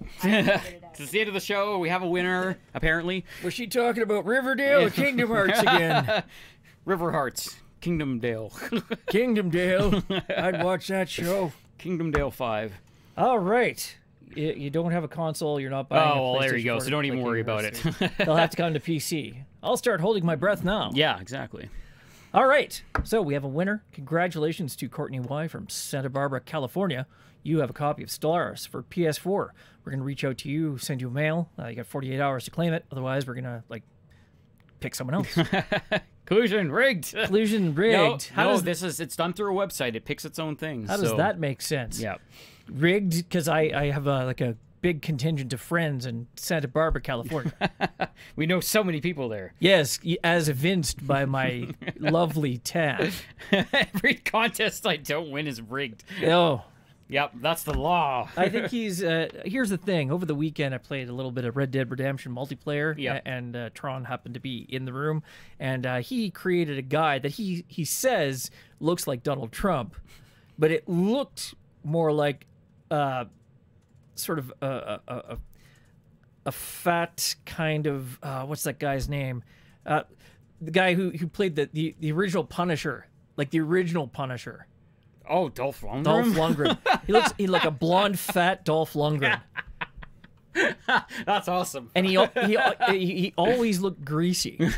And here's the thing. Just sweaty and greasy. And the thing that made him laugh more than anything else was that you get on your horse, he'd just get on behind you everywhere you went.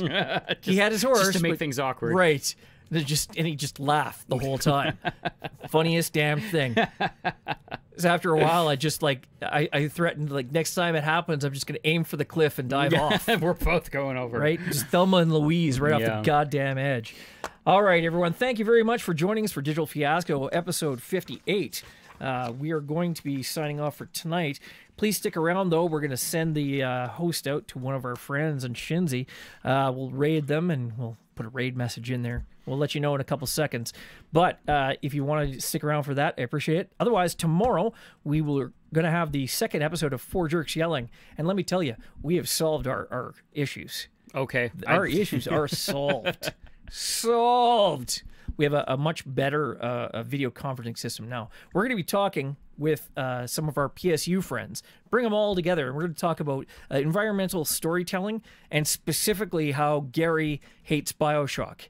And well, I guess that that's a good blend there because one Yeah. is very much atmospheric storytelling. one of the most you know highly rated, well respected game series of all times. He's like, eh, I'm like It, they're- it's not for everyone, man. You gotta understand. People like different games. Well, Four Jerks Yelling is not a place where you talk about facts. is where you argue with belief, and it's you know it's just gonna yell at each other for a couple hours. Yeah. it's gonna be good. We'll talk about Deus Ex. We'll probably talk about things like you know Gone Home or whatnot. Environmental storytelling, culminating in me telling him how he's wrong about Bioshock. all right. All right. So tomorrow, that is 7 Central Time. Join us for Four Jerks Yelling, and we're going to be talking about environmental storytelling. Till then, uh, thank you all for watching. Uh, we are, of course, Digital Fiasco. I'm Jack McBastard, And I'm Dandroid. and we will see you guys next time. Uh, Courtney Y, once again, thank you for playing. You have a copy of Stellaris PS4 Console Edition. And we will see everyone later. Have a good night. See ya.